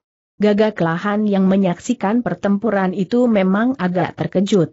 Ternyata Sambi Wulung adalah seorang yang memiliki ilmu pedang yang sangat tinggi. Sementara itu, orang-orang yang bertempur melawan Jati Wulung pun telah melakukan hal yang sama. Mereka pun telah bersenjata pula. Seperti kawan-kawannya yang bertempur melawan Sambi Wulung, maka mereka pun bersenjata pedang meskipun bentuknya juga berbeda-beda. Bahkan seorang di antaranya mempergunakan pedang yang pendek, tetapi tangkainya lah yang agak lebih panjang dengan tangkai pedang kebanyakan. Dengan demikian maka pertempuran pun menjadi semakin berbahaya, karena mereka telah bersenjata di tangan. Bahkan Jati Wulung sempat memperingatkan, dengan senjata di tangan, maka nyawa kalian akan semakin cepat terpisah dari tubuh kalian. Omong kosong, geram salah seorang lawannya, apakah kau sudah mulai ketakutan melihat gemerlapnya daun pedang? Aku juga mempunyai pedang, sahut Jati Wulung. Lawannya tidak sempat menyaut. Jati Wulung telah meloncat menyerang. Pedangnya berputaran dengan cepatnya kemudian menyambar-nyambar seperti burung sikatan. Ujungnya seakan-akan mengiang di ujung telinga. Seperti seekor lalat yang berterbangan untuk hinggap. Dengan demikian maka pertempuran menjadi semakin lama semakin sengit. Dentang senjata menjadi semakin sering terdengar disertai kilatan bunga api yang meloncat dari benturan. Gagak Laham pun menjadi semakin tegang pula melihat pertempuran yang nampaknya tidak berkesudahan itu. Bahkan dengan pedang di tangan Sambi Wulung dan Jati Wulung menjadi semakin garang. Jantung gagak lahan bagaikan disengat api ketika ia melihat salah seorang di antara para pengikutnya yang terlempar beberapa langkah surut. Ternyata bahwa Sambi Wulung telah berhasil melukai orang itu. Segores luka telah mengoyak dadanya memanjang dari bahu sampai ke bahu meskipun tidak begitu dalam. Namun dari luka itu ternyata telah mengalir darah. Untuk beberapa saat lamanya gagak lahan masih berdiri bagaikan membeku betapapun jantungnya gelisah. Ia masih memaksa diri untuk mempercayai bahwa orang-orangnya akan dapat menyelesaikan kedua orang itu. Tetapi ternyata bahwa yang terjadi bukannya seperti yang diharapkan. Ternyata bahwa orang-orangnya justru semakin terdesak. Ujung pedang Sambi Wulung dan Jati Wulung telah berhasil menyentuh kulit lawan-lawannya. Segores demi segores, keduanya telah melukai lawannya sehingga darah telah mengalir di beberapa tempat yang menganga. Karena itu, maka pertempuran pun menjadi semakin longgar bagi Sambi Wulung dan Jati Wulung. Karena kemampuan ilmu pedangnya maka lawan-lawannya tidak berani menjadi terlalu dekat tanpa perhitungan yang meyakinkan. Karena itulah, maka akhirnya Gagak Lahan tidak dapat mempercayakan kedua orang itu hanya kepada para pengikutnya. Ketika ia melihat seorang lagi di antara mereka terluka di lengannya, meskipun hanya segores kecil tetapi cukup dalam, maka ia pun menggeram sambil berkata, akhirnya aku sendiri yang terpaksa membunuh mereka. Ketika gagak lahan mulai bergerak, maka Sambi Wulung dan Jati Wulung menyadari, bahwa orang itu tentu akan ikut pula dalam pertempuran dengan membenturkan ilmu pedangnya. Sementara itu keduanya pun menyadari, bahwa gagak lahan tentu memiliki kelebihan dari keenam orang pengikutnya. Karena itu, ketika gagak lahan kemudian bergerak mendekati Sambi Wulung, maka Sambi Wulung pun telah bertindak cepat. Ia harus mengurangi lawannya yang lain untuk dapat memusatkan perhatiannya kepada gagak lahan. Ia masih berniat untuk bertempur tanpa puncak-puncak kemampuannya jika ia tidak dipaksa oleh keadaan yang memang sangat gawat. Dalam waktu yang sempit itu, Sambi Wulung harus bergerak cepat, sementara itu, ketiga lawannya yang melihat gagak lahan akan hadir, justru menjadi semakin garang. Pada hentakan-hentakan terakhir, justru senjata salah seorang lawannya telah menyentuh bahu Sambi Wulung. Selangkah Sambi Wulung meloncat surut ketika perasaan sakit itu menyengatnya.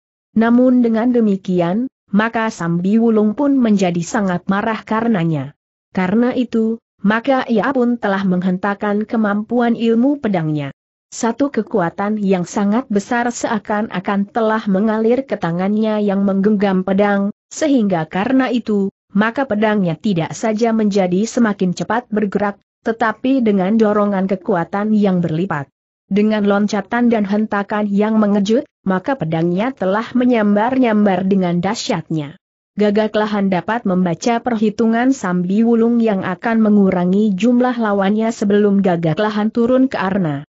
Karena itu, maka gagak lahan pun telah meloncat dengan langkah-langkah panjang, di antara batu-batu nisan tua. Tetapi justru karena itu, maka Sambi Wulung pun telah menghentak pula pada saat-saat terakhir. Demikian gagak lahan mencapai arna pertempuran di bawah pohon benda itu, maka dua orang pengikutnya telah terlempar dengan derasnya. Seorang di antaranya terbanting jatuh. Kepalanya membentur sebuah batu nisan, sehingga untuk seterusnya tidak bangkit lagi. Sedangkan seorang lagi terdorong beberapa langkah. Ia tidak dengan serta-merta terbanting jatuh. Beberapa saat ia berusaha untuk tetap bertahan. Tetapi ia pun kemudian terhuyung-huyung dan kehilangan keseimbangannya. Luka di perutnya telah menganga. Darah mengalir seperti diperas dari tubuhnya. Sehingga akhirnya, maka ia pun telah jatuh di atas lututnya dan kemudian terbaring di tanah. Nafasnya satu-satu masih sempat mengalir ketika gagak lahan berteriak, bertalianlah. Aku akan membalas kematianmu. Jangan mati sebelum kau sempat melihat mayatnya terbujur di sisimu. Tetapi ternyata itu merupakan satu kesalahan lagi bagi gagak lahan. Justru pada saat ia berteriak kepada orangnya yang sudah hampir kehilangan nyawanya itu, ia mendengar seorang lagi di antara pengikutnya itu mengaduh tertahan. Seorang yang tersisa dari lawan Sambi Wulung itu telah meloncat menjauh. Luka yang dalam telah menganga di pundaknya. Setan kau, geram gagak lahan. Kau bunuh orang-orangku seperti membunuh itik. Orang-orangmu memang tidak lebih dari itik-itik rawa yang tidak berarti. Kau sendiri barangkali tidak lebih dari induk itik itu pula, jawab Sambi Wulung. Gagak lahan mengumpat kasar. Ia pun kemudian maju selangkah sambil mengacukan pedangnya yang panjang dan ramping.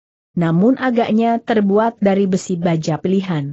Ternyata bahwa kawannya yang seorang, yang terluka di pundaknya masih berusaha untuk ikut pula dalam pertempuran itu. Dilepaskannya ikat kepalanya untuk menahan arus darah yang keluar dari lukanya. Marilah, berkata Sambi Wulung kemudian, luka di tubuhku memang harus kalian bayar dengan sangat mahal. Selebihnya, menurut pendapatku, orang-orang seperti kalian ini tidak sepantasnya tinggal hidup di antara orang lain kalian ternyata dapat berbuat jauh lebih kejam dari orang-orang yang disebut orang jahat yang pernah kau kenal. Bahkan orang jahat seperti aku dan saudaraku itu. Gagak lahan tidak segera menjawab. Ia bergeser selangkah ke samping, sementara kawannya yang sudah terluka itu mengambil arah yang berbeda. Kaulah yang akan mati di sini, berkata Sambi Wulung pula, untuk selanjutnya kau telah memaksa aku untuk kembali kepada pokanmu. Aku harus membunuh orang-orang yang tersisa, termasuk keuntungan aku dapatkan, bahwa aku ternyata menjumpai sebuah padepokan yang isinya harus ditumpas habis. Kau boleh mengigau apa saja, berkata gagak lahan, karena kau belum mengenal gagak lahan. Jika kau mulai menyentuh pedangku dengan ujung senjatamu, maka kau akan berkata lain. Kau kira aku akan berkata apa lagi? Dua orangmu telah mati. Yang seorang itu sebentar lagi juga akan mati, jawab Sambi Wulung. Pedangmu adalah pedang yang dibuat oleh pandai besi di pinggir pasar. Sedangkan senjataku adalah hasil buatan seorang empu yang namanya telah kauntar. Selain jenis senjata yang ada pada kami masing-masing, maka kemampuanmu bermain pedang pun belum memadai menandingi aku, geram gagak lahan. Satu cara yang sudah tidak pantas lagi dipergunakan sekarang ini. Menakut-nakuti dengan kata-kata yang mengerikan serta melemahkan lawan secara jiwani. Mungkin pencuri-pencuri ayam akan ketakutan mendengar ancaman seperti itu. Tetapi aku adalah perampok dan pembunuh di tempat-tempat perjudian yang besar di seluruh tanah ini. Karena itu, kami berdua akan sanggup menumpas seisi padepokan itu termasuk Puguh dan kedua orang tuanya. Bahkan orang yang disebut gurunya itu. Wajah gagak lahan menjadi merah. Memang ada sepercik penyesalan di dalam dirinya, bahwa ia telah mengusik kedua orang yang belum tentu akan berbuat buruk terhadap padepokannya. Jika kemudian ternyata ia tidak berhasil membunuh keduanya, maka keduanya benar-benar akan menjadi bahaya bagi padepokannya. Tetapi justru karena hal itu sudah terlanjur dilakukan, maka bagi gagak lahan memang tidak ada pilihan lain, kecuali benar-benar membunuh kedua orang itu. Karena itu, gagak lahan tidak berbicara lagi. Ia pun kemudian melangkah semakin dekat. Pedangnya mulai terjulur dan bergetar, kemudian berputar cepat mengitari pedang lawannya namun kemudian menusuk deras ke arah jantung. Sambi Wulung bergeser mundur. Pedangnya pun bergerak cepat pula. Demikian tusukan lawan tidak menyentuh tubuhnya, maka Sambi Wulung telah menepis ujung pedang gagak lahan ke samping, berputar dan pedangnya terayun deras mengarah leher. Gagak lahan menggeliat. Kepalanya menunduk rendah, sehingga pedang Sambi Wulung terbang di atas ubun-ubunnya. Namun dalam pada itu sambil merendah, ujung pedangnya dengan cepat menusuk lambung. Tetapi gagak lahan belum berhasil. Sambi Wulung sempat bergeser selangkah sambil memiringkan tubuhnya. Namun ia pun harus cepat meloncat, karena lawannya yang seorang lagi telah menyambarnya dengan sisa kekuatan yang ada padanya. Jika kau paksakan dirimu untuk bertempur terus, maka kau akan mati karena kehabisan darah, geram Sambi Wulung. Lalu katanya pula, setiap hentakan gerak tubuhmu, sama dengan memeras darah dari nademu yang terputus oleh ujung pedangku. Orang itu tidak menjawab. Tetapi tubuhnya memang merasa menjadi semakin lemah. Tetapi ia masih saja memaksa dirinya untuk ikut bertempur bersama gagak lahan. Namun ketika gagak lahan semakin meningkatkan ilmunya menghadapi Sambi Wulung yang garang, maka ia telah dikejutkan oleh umpatan yang kasar, namun diselingi oleh desah kesakitan. Gagak lahan itu sempat melihat seorang pengikutnya yang bertempur melawan Jati Wulung telah terdorong surut beberapa langkah. Namun sebelum ia sempat memperbaiki keadaannya, tiba-tiba saja Jati Wulung telah melenting, lepas dari perlawanan dua orang lawannya yang lain, sambil menjulurkan pedangnya langsung menusuk dada tembus ke jantung. Ketika kedua lawannya menyusulnya, maka Jati Wulung telah menarik pedangnya itu dan berdiri tegak menghadap ke arah kedua lawannya yang lain. Satu kakinya ditariknya setengah langkah ke belakang, sementara lututnya agak ditekuknya. Pedangnya berdiri tegak di depan tubuhnya, sementara telapak tangan kirinya terbuka melekat pada punggung pedangnya itu. Kedua orang lawannya yang tersisa termangu-mangu sejenak. Mereka pun telah terluka oleh goresan-goresan ujung pedang jati wulung. Namun luka-luka itu tidak banyak berpengaruh atas kemampuan perlawanan mereka, meskipun darah mengalir pula dari luka itu. Tetapi ketika seorang kawannya telah terbunuh dengan tusukan tepat di jantung, maka mereka menjadi semakin tegang menghadapi lawannya yang garang itu. Sementara itu, mereka pun tahu bahwa dua orang kawan mereka yang bertempur melawan Waneng Baya pun telah terbunuh pula. Bahkan Gagak Lahan tidak lagi dapat mereka harapkan untuk membantu, karena Gagak Lahan telah bertempur melawan Waneng Baya itu. Namun kedua orang lawan Jati Wulung itu tidak dapat merenungi keadaannya terlalu lama. Sejenak kemudian, maka terdengar jati wulung itu berteriak nyaring. Pedangnya terangkat tinggi-tinggi. Kemudian dengari garangnya ia telah meloncat dengan ayunan pedang yang menggetarkan jantung. Pertempuran pun telah berlangsung pula dengan kerasnya. Kedua orang yang tersisa itu pun justru menjadi putus asa menghadapi kegarangan jati wulung. Pedangnya yang terayun-ayun itu menjadi semakin mengerikan. Bahkan putaran yang cepat serta berbagai unsur gerak yang lain, membuat pedang jati wulung itu seakan-akan menjadi puluhan pedang yang menari-nari di sekitar tubuh kedua orang lawannya. Dalam keadaan yang gawat, maka kedua orang itu ternyata telah mengambil sikap yang menentukan. Sebagai pasangan yang telah bekerja sama dalam waktu yang lama, maka tanpa isyarat pun keduanya dapat saling membaca maksud masing-masing. Karena itulah, maka dengan ancang-ancang yang cukup, keduanya telah menyerang bersamaan dengan mengerahkan segenap kemampuan mereka. Keduanya telah menyerang dengan senjata masing-masing yang terayun deras dari dua arah. Jati Wulung yang telah dibasahi oleh keringatnya itu pun merasa bahwa tenaganya akan segera mulai susut. Karena itu, maka ia pun telah memutuskan untuk berusaha mengakhiri pertempuran itu. Karena itu, Ketika serangan kedua orang itu datang bersama-sama, maka Jati Wulung pun telah meloncat selangkah ke samping. Kemudian menggeliat untuk menghindari tusukan pedang lawannya yang lain. Namun sementara itu, ia pun telah merendah sedikit sambil menjulurkan pedangnya langsung mengoyak lambung. Sementara itu, ia pun telah meloncat dan menghantam lawannya yang lain dengan kakinya tepat mengenai dadanya justru di saat terbuka, sehingga lawannya itu terlempar beberapa langkah surut. Adalah nasibnya yang buruk, jika tubuhnya itu telah menghantam pohon cangkring raksasa yang berduri. Ternyata keduanya tidak tertolong lagi. Keduanya pun kemudian telah terkapar di tanah pekuburan tua itu. Bersamaan dengan itu, maka Sambi Wulung pun telah sempat menyelesaikan lawannya yang seorang. Betapa lemahnya orang itu sehingga ia tidak sempat menghindar ketika Sambi Wulung mengayunkan dengan deras sekali pedangnya mendatar. Yang kemudian berhadapan adalah Sambi Wulung dengan gagak lahan. Bagaimanapun juga gagak lahan harus berpikir tentang kemampuan lawannya itu. Meskipun lawannya sudah mengerahkan tenaganya, sehingga mulai menjadi letih, namun kemampuan ilmu pedangnya benar-benar mendebarkan jantung gagak lahan. Tetapi gagak lahan adalah orang yang sangat berpengalaman. Ia adalah seorang yang seakan-akan tidak berperasaan.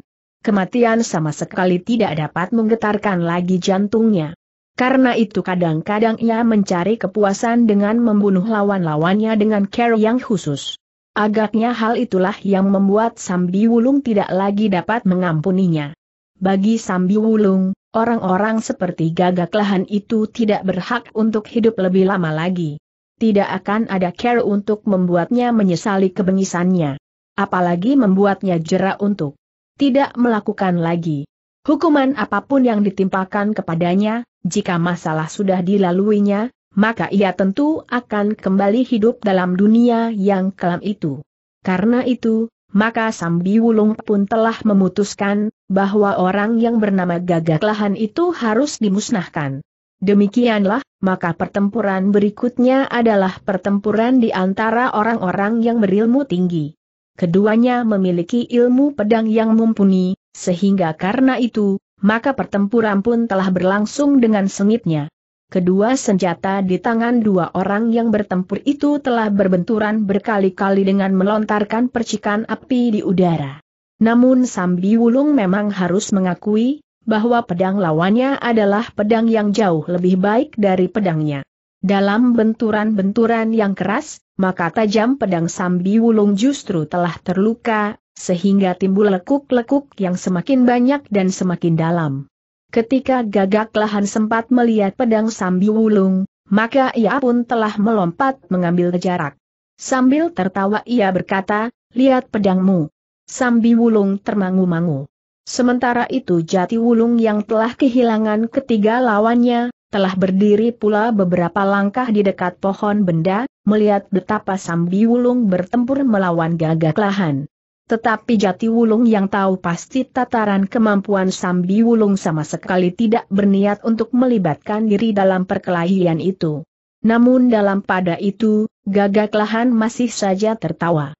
Katanya kemudian, nah, marilah. Agaknya kalian akan bertempur berpasangan. Jika demikian, maka pekerjaanku akan menjadi semakin cepat selesai. Jati Wulung bergeser selangkah maju. Dengan nada rendah ia menjawab, enam orangmu telah mati. Sebaiknya kau menyerah saja, agar kau tidak perlu kami ikat pada batang cangkring yang penuh dengan semut merah itu. Karena semut merah itu akan makan bagian-bagian yang lunak dari tubuhmu. Kau akan mati dengan perlahan-lahan. Persetan, Geram gagak lahan, marilah. Agaknya kau yang ingin mati lebih dahulu. Tetapi Sambi Wulunglah yang kemudian berkata, aku belum kau kalahkan gagak lahan. Gagak lahan berpaling ke arah Sambi Wulung. Pedangnya pun telah bergetar pula. Tiba-tiba saja ia meloncat sambil mengayunkan pedangnya dengan garangnya. Sekali lagi telah terjadi benturan senjata pedang Sambi Wulung yang tidak sebaik pedang gagak lahan ternyata telah gempi lagi pada tajamnya, sehingga menambah lekuk-lekuk yang memang sudah banyak terdapat. Sambil menyerang terus gagak lahan berkata, sebentar lagi, maka tajam pedangmu akan habis. Pedangmu sama sekali tidak akan berguna lagi. Sambi Wulung tidak menjawab. Namun ia telah mempercepat geraknya dan meningkatkan kekuatannya, sehingga pertempuran itu menjadi semakin cepat. Namun setiap kali gagak lahan masih saja menyebut-nyebut tentang pedang Sambi Wulung yang memang menjadi cacat. Tajamnya telah menjadi semakin habis. Yang ada kemudian adalah lekuk-lekuk seperti gerigi keping besi yang sudah menjadi aus. Tetapi Sambi Wulung sama sekali tidak menjadi cemas. Bagaimanapun juga, ternyata bahwa pedangnya masih belum patah.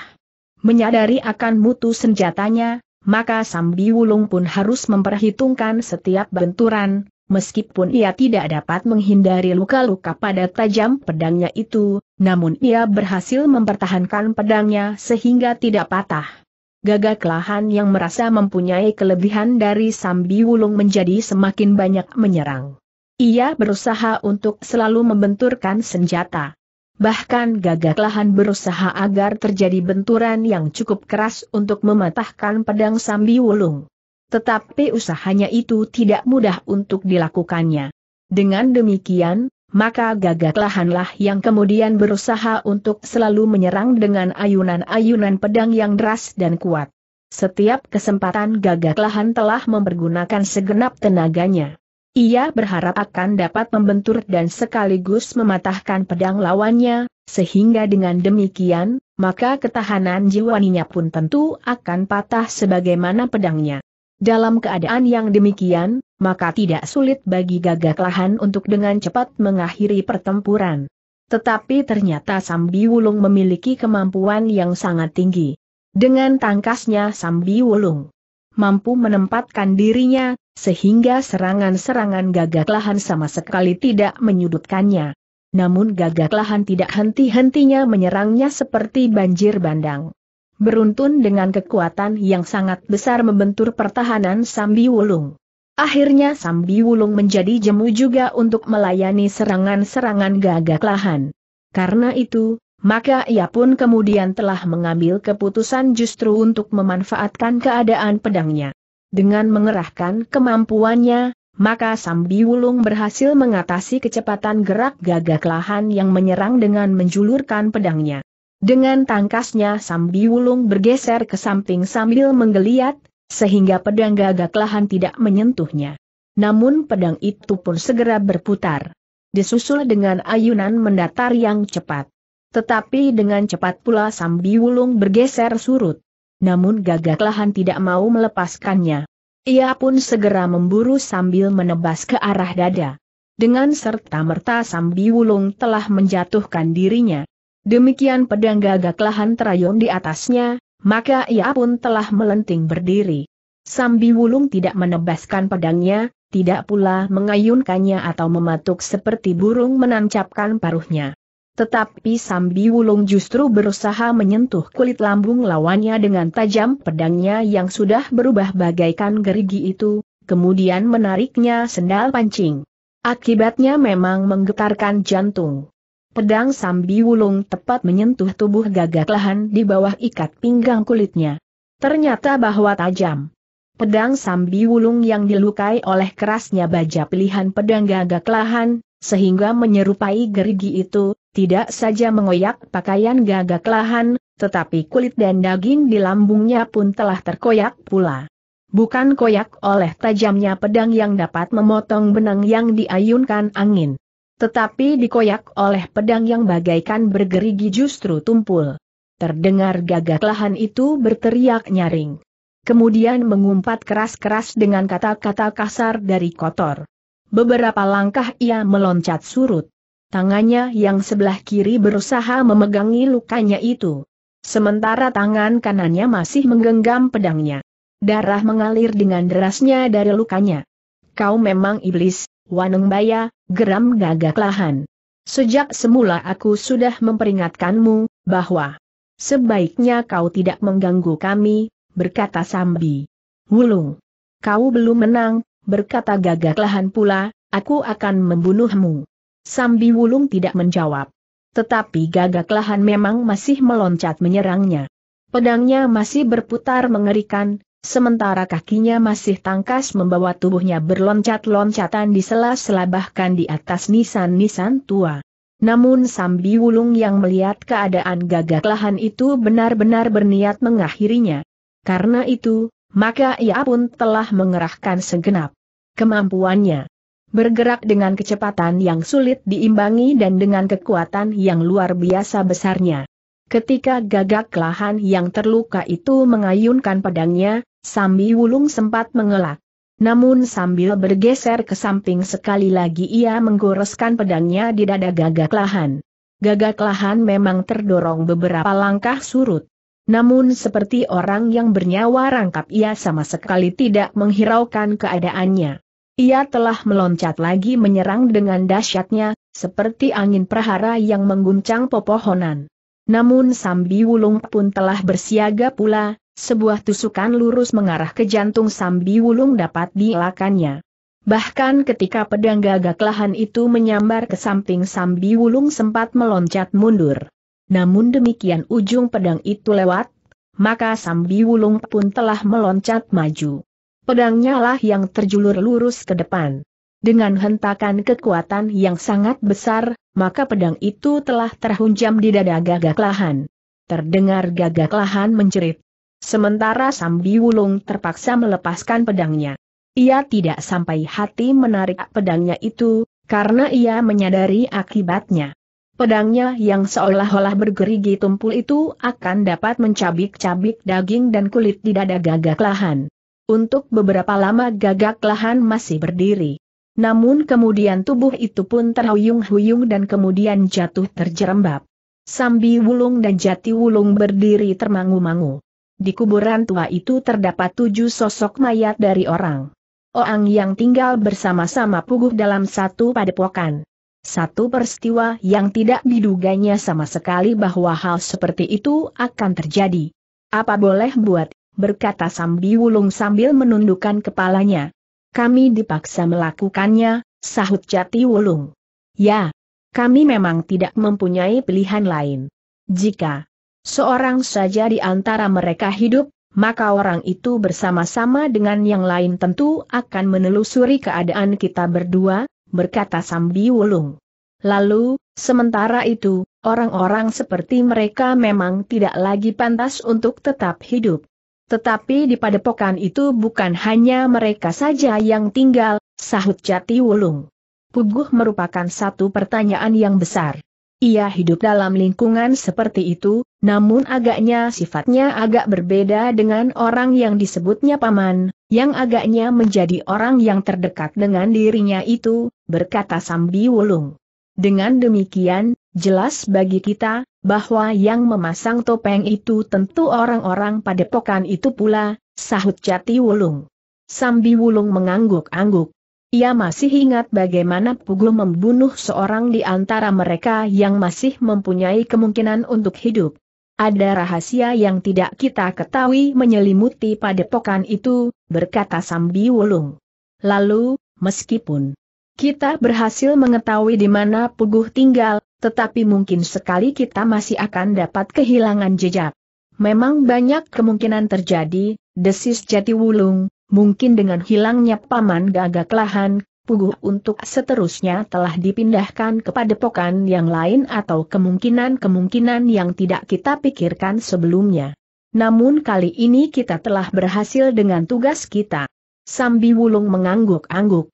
Katanya, kita akan melaporkan kepada Nyi Wiradana di Tanah Perdikan Sembojan. Jati Wulung mengangguk-angguk. Namun keduanya kemudian sepakat untuk mengubur lebih dahulu tujuh sosok mayat yang terbujur lintang di kuburan tua itu. Sementara itu di padepokannya, Puguh merasa sangat gelisah. Ketika kemudian malam datang, bahkan malam itu telah lewat diganti dengan hari baru berikutnya, pamannya tidak juga kelihatan. Dari beberapa orang penghuni padepokan itu Puguh mendapat keterangan bahwa pamannya, Gagak Lahan telah meninggalkan padepokan itu. Ke mana bertanya Puguh? Orang-orang itu hanya menggelengkan kepalanya saja.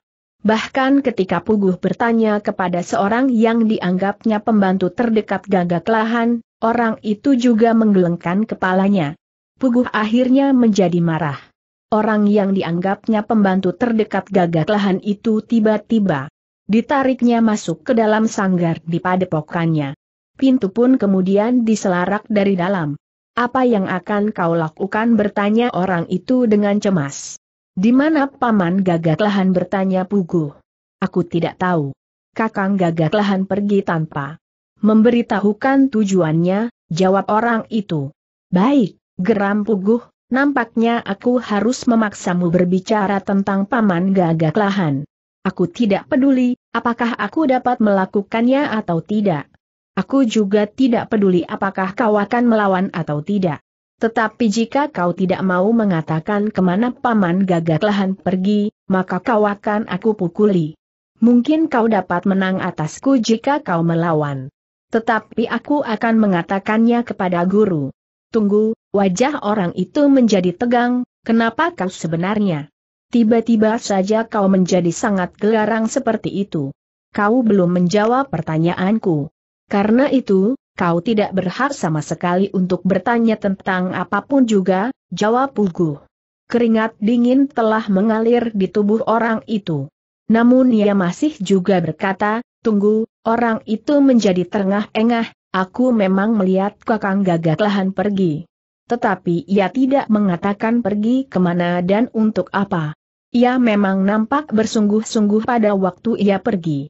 Berapa orang yang dibawanya bertanya Puguh. Orang itu ragu-ragu. Namun tiba-tiba saja Puguh telah meremas bajunya sambil membentak, katakan. Aku tidak tahu pasti, jawab orang itu agak gagap, aku kira sekitar lima atau enam orang. Bohong jika kau tidak tahu pasti, geram Puguh, kau dapat menghitung orang-orangmu yang tidak ada di padepokan. Memang mungkin, jawab orang itu, tetapi apakah mereka semua pergi bersama kakang gagak lahan itulah yang kurang aku ketahui. Puguh mendorong orang itu sehingga hampir saja ia jatuh terlentang. Tetapi Puguh tidak bertanya lagi. Ia pun dengan tanpa mengatakan sesuatu telah melangkah keluar dari sanggar. Orang itu pun dengan tergesa-gesa telah keluar pula menyusul Puguh. Namun Puguh sama sekali tidak menghiraukannya. Seorang diri Puguh meninggalkan padepokan itu menuju ke padepokannya yang lain, tempat tinggal gurunya. Padepokan yang lebih dirahasiakan dari padepokan yang dihuninya. Di perjalanan ia memang bertemu dengan dua orang yang mengawal dan menjaga kerahasiaan padepokan kedua itu. Namun mereka sama sekali tidak mengusik Puguh. Apalagi nampaknya Puguh agak tergesa-gesa. Gurunya memandang Puguh dengan kerut di dahinya. Dengan sareh ia berkata, duduklah. Kita akan berbicara tanpa kegelisahan seperti itu. Puguh pun kemudian duduk di hadapan gurunya, namun nafasnya masih saja terengah-engah. Paman gagak lahan tidak ada di padepokan, guru, berkata Puguh. Gurunya tersenyum. Katanya, bukankah ia memang sering meninggalkan padepokan untuk tugas-tugas yang penting? Pamanmu gagak lahan adalah orang yang dipercaya oleh orang tuamu. Karena itu, maka banyak tugas yang dikerjakannya serta besar pula tanggung jawabnya. Agaknya Paman G agak lahan pergi, demikian kedua orang yang mengantarku, kembali itu meninggalkan padepokan, berkata Pugu. Kenapa kau menjadi gelisah bertanya gurunya? Apakah guru tidak memerintahkan agar paman gagak lahan melakukan sesuatu? Agaknya paman gagak lahan terlalu curiga kepada kedua orang itu. Bagiku Waneng Baya dan Waneng Pati adalah orang-orang yang telah memberikan pertolongan kepadaku, berkata Pugu. Gurunya menggelengkan kepalanya. Katanya, aku tidak bertemu dengan gagak lahan lagi setelah ia datang bersamamu kemarin malam. Juga tidak ada seorang pun yang memberikan laporan kepadaku apa yang akan dilakukannya. Tetapi guru tidak memerintahkan kepadanya untuk menyusul kedua orang itu desak Pugu. Gurunya tertawa. Katanya, sudah aku katakan. Sejak kemarin malam aku tidak bertemu orang itu lagi. Bukankah ketika itu, kau juga mendengar apa yang kami bicarakan? Pamanmu gagak lahan memang sangat mencurigai kedua orang itu pamanmu menganggap bahwa kau telah terjebak ke dalam sikap manisnya. Tetapi aku tidak sependapat jika pamanmu gagak lahan mengambil langkah-langkah tertentu atas kedua orang itu. Puguh mengangguk-angguk. Katanya, sampai saat ini, sebelum aku pergi menghadap guru, paman gagak lahan belum juga kembali. Itu justru menggelisahkan, berkat gurunya, ada beberapa kemungkinan telah terjadi atasnya. Apakah ada orang yang dapat melaporkan, dengan berapa orang pamanmu itu pergi? Lima atau enam orang, jawab Pugu. Perintahkan untuk menghitung orang-orang mudi. Sana, berkata gurunya, cari siapa saja yang tidak ada di padepokan. Aku sudah memerintahkan guru. Tetapi menurut seseorang, belum tentu semuanya pergi bersama paman gagak lahan, jawab Pugu. Lihat lagi, berkata gurunya, kau akan jelas. Yang belum kembali adalah mereka yang pergi bersama gagak lahan. Hubungi aku untuk mengambil kesimpulan. Tetapi ketika Puguh akan kembali ke padepokan pertamanya, gurunya berkata, Jangan pergi sendiri. Kenapa? Bukankah jalan yang menghubungkan kedua padepokan ini merupakan jalan khusus yang tidak pernah dilalui orang lain kecuali kita bertanya Pugu? Kau harus lebih berhati-hati. Kedua orang itu mempunyai kemungkinan untuk berbuat lebih banyak dari yang kau pikirkan, jawab gurunya. Jadi guru juga mencurigainya bertanya Pugu. Jika G agak lahan mengambil langkah yang tidak menguntungkan, justru timbul kemungkinan-kemungkinan yang lebih buruk karena sikap kedua orang itu. Jika aku memperingatkanmu, sekedar sikap hati-hati saja, jawab gurunya. Puguh tidak menjawab. Tetapi ketika ia kembali ke padepokan pertama, ia memang dikawani oleh kedua orang dari padepokan keduanya. Ternyata bahwa Puguh berusaha untuk mendapatkan keterangan lebih banyak tentang kepergian gagak lahan yang ternyata masih belum juga kembali. Apakah Paman gagak lahan M mengikuti kedua orang itu sampai ke tempat yang jauh? Atau Paman gagak lahan ganti ingin melihat kediaman kedua orang itu pertanyaan itu timbul di dalam hatinya. Namun akhirnya semua keterangan itu telah diberitahukan kepada gurunya memang ada beberapa kesimpulan yang dapat diambil oleh gurunya. Seperti yang diduganya, mungkin gagak lahan ingin melihat di mana kedua orang itu tinggal. Tetapi kemungkinan lain, gagak lahan menunggu kesempatan untuk tindakan khusus terhadap kedua orang itu. Apakah ada kemungkinan lain lagi guru bertanya Pugu? Gurunya menarik nafas dalam-dalam. Namun kemudian katanya dengan nada rendah, kemungkinan itu sangat mendebarkan. Mungkin karena kedua orang itu merasa terganggu oleh sikap gagak lahan, maka mereka telah mengambil sikap yang paling keras. Maksud guru, membunuh paman gagak lahan bertanya Pugu. Gurunya mengangguk lemah. Katanya, bukankah kemungkinan itu ada? Tetapi bukankah kemungkinan yang lebih besar adalah paman gagak lahan membunuh kedua orang itu desak Pugu. Itu kalau pamanmu mampu. Jika tidak, Bukankah dapat terjadi sebaliknya desis gurunya? Puguh tidak segera menjawab. Memang terbayang berbagai kemungkinan dapat terjadi atas pamannya gagak lahan. Namun agaknya pamannya itu tidak akan pergi terlalu lama jika ia sempat untuk pulang kembali ke padepokan, karena pamannya itu harus menunggui padepokan itu sebagai pengganti orang tuanya. Karena Puguh tidak segera menjawab, maka gurunya pun berkata, Sudahlah, tetapi kau untuk selanjutnya memang harus berhati-hati. Kau tunggu saja hari ini dan besok. Jika pamanmu gagak lahan tidak juga kembali, maka kita dapat menyesali kepergiannya. Karena ternyata ia dan beberapa orangnya tidak akan pernah kembali lagi. Bagaimana jika paman gagak lahan mengikuti kedua orang itu? Guru bertanya Puguh. Memang mungkin.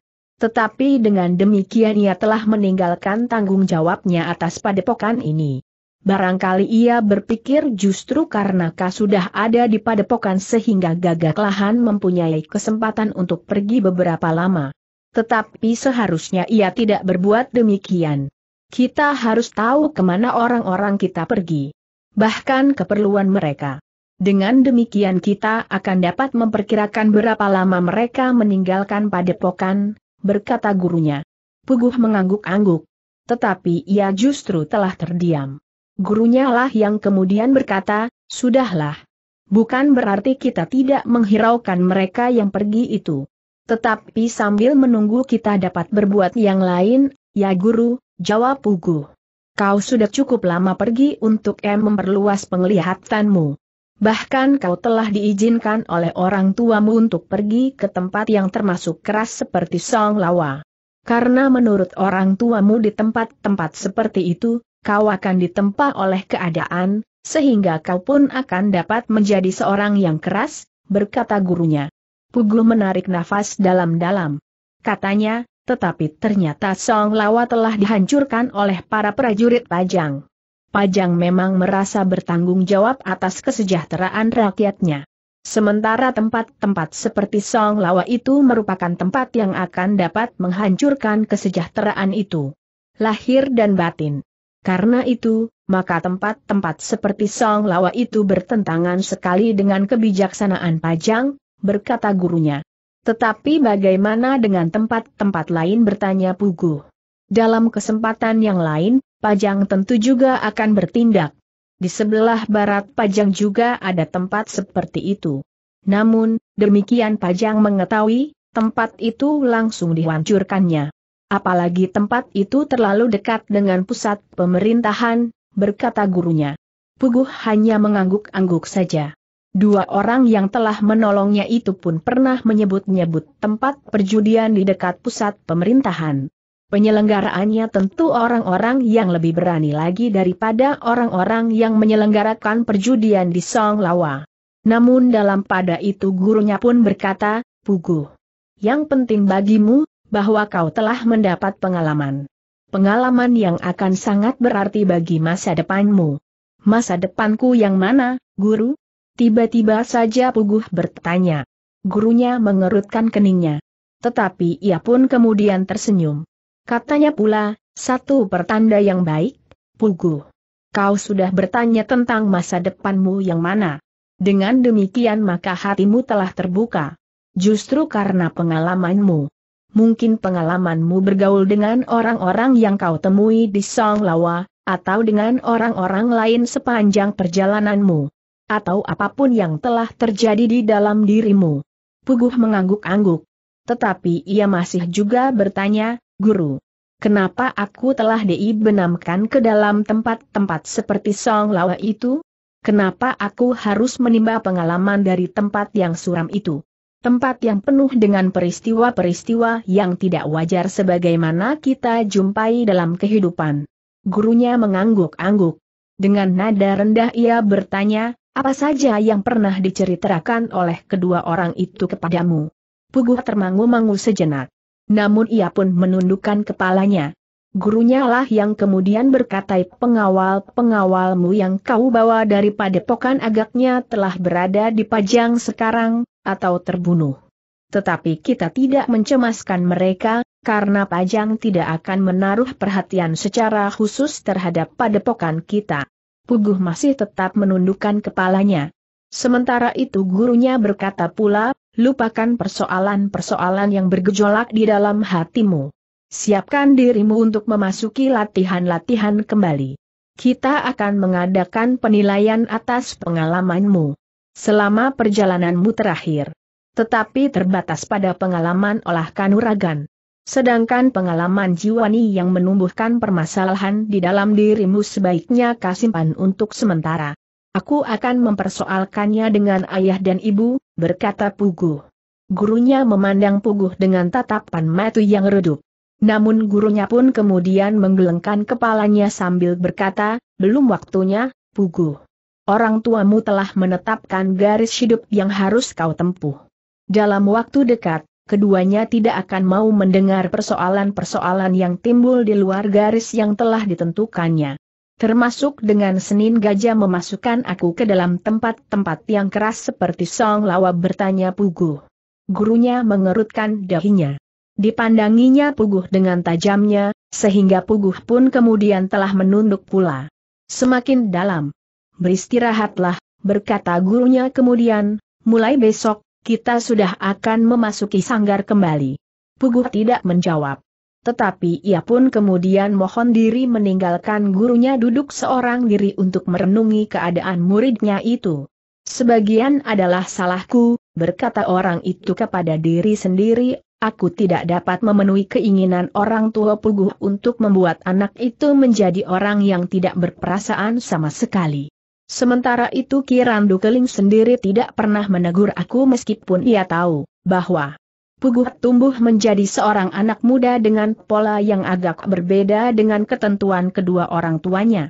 Agaknya aku masih memberinya peluang untuk memikirkan dirinya sendiri, memikirkan orang lain, serta hubungan antara dirinya dengan orang lain. Nampaknya peluang-peluang itu telah ditusuk pula dengan pengertian-pengertian yang berhasil menyentuhnya dari kedua orang yang mengantarkannya kembali ke padepokan.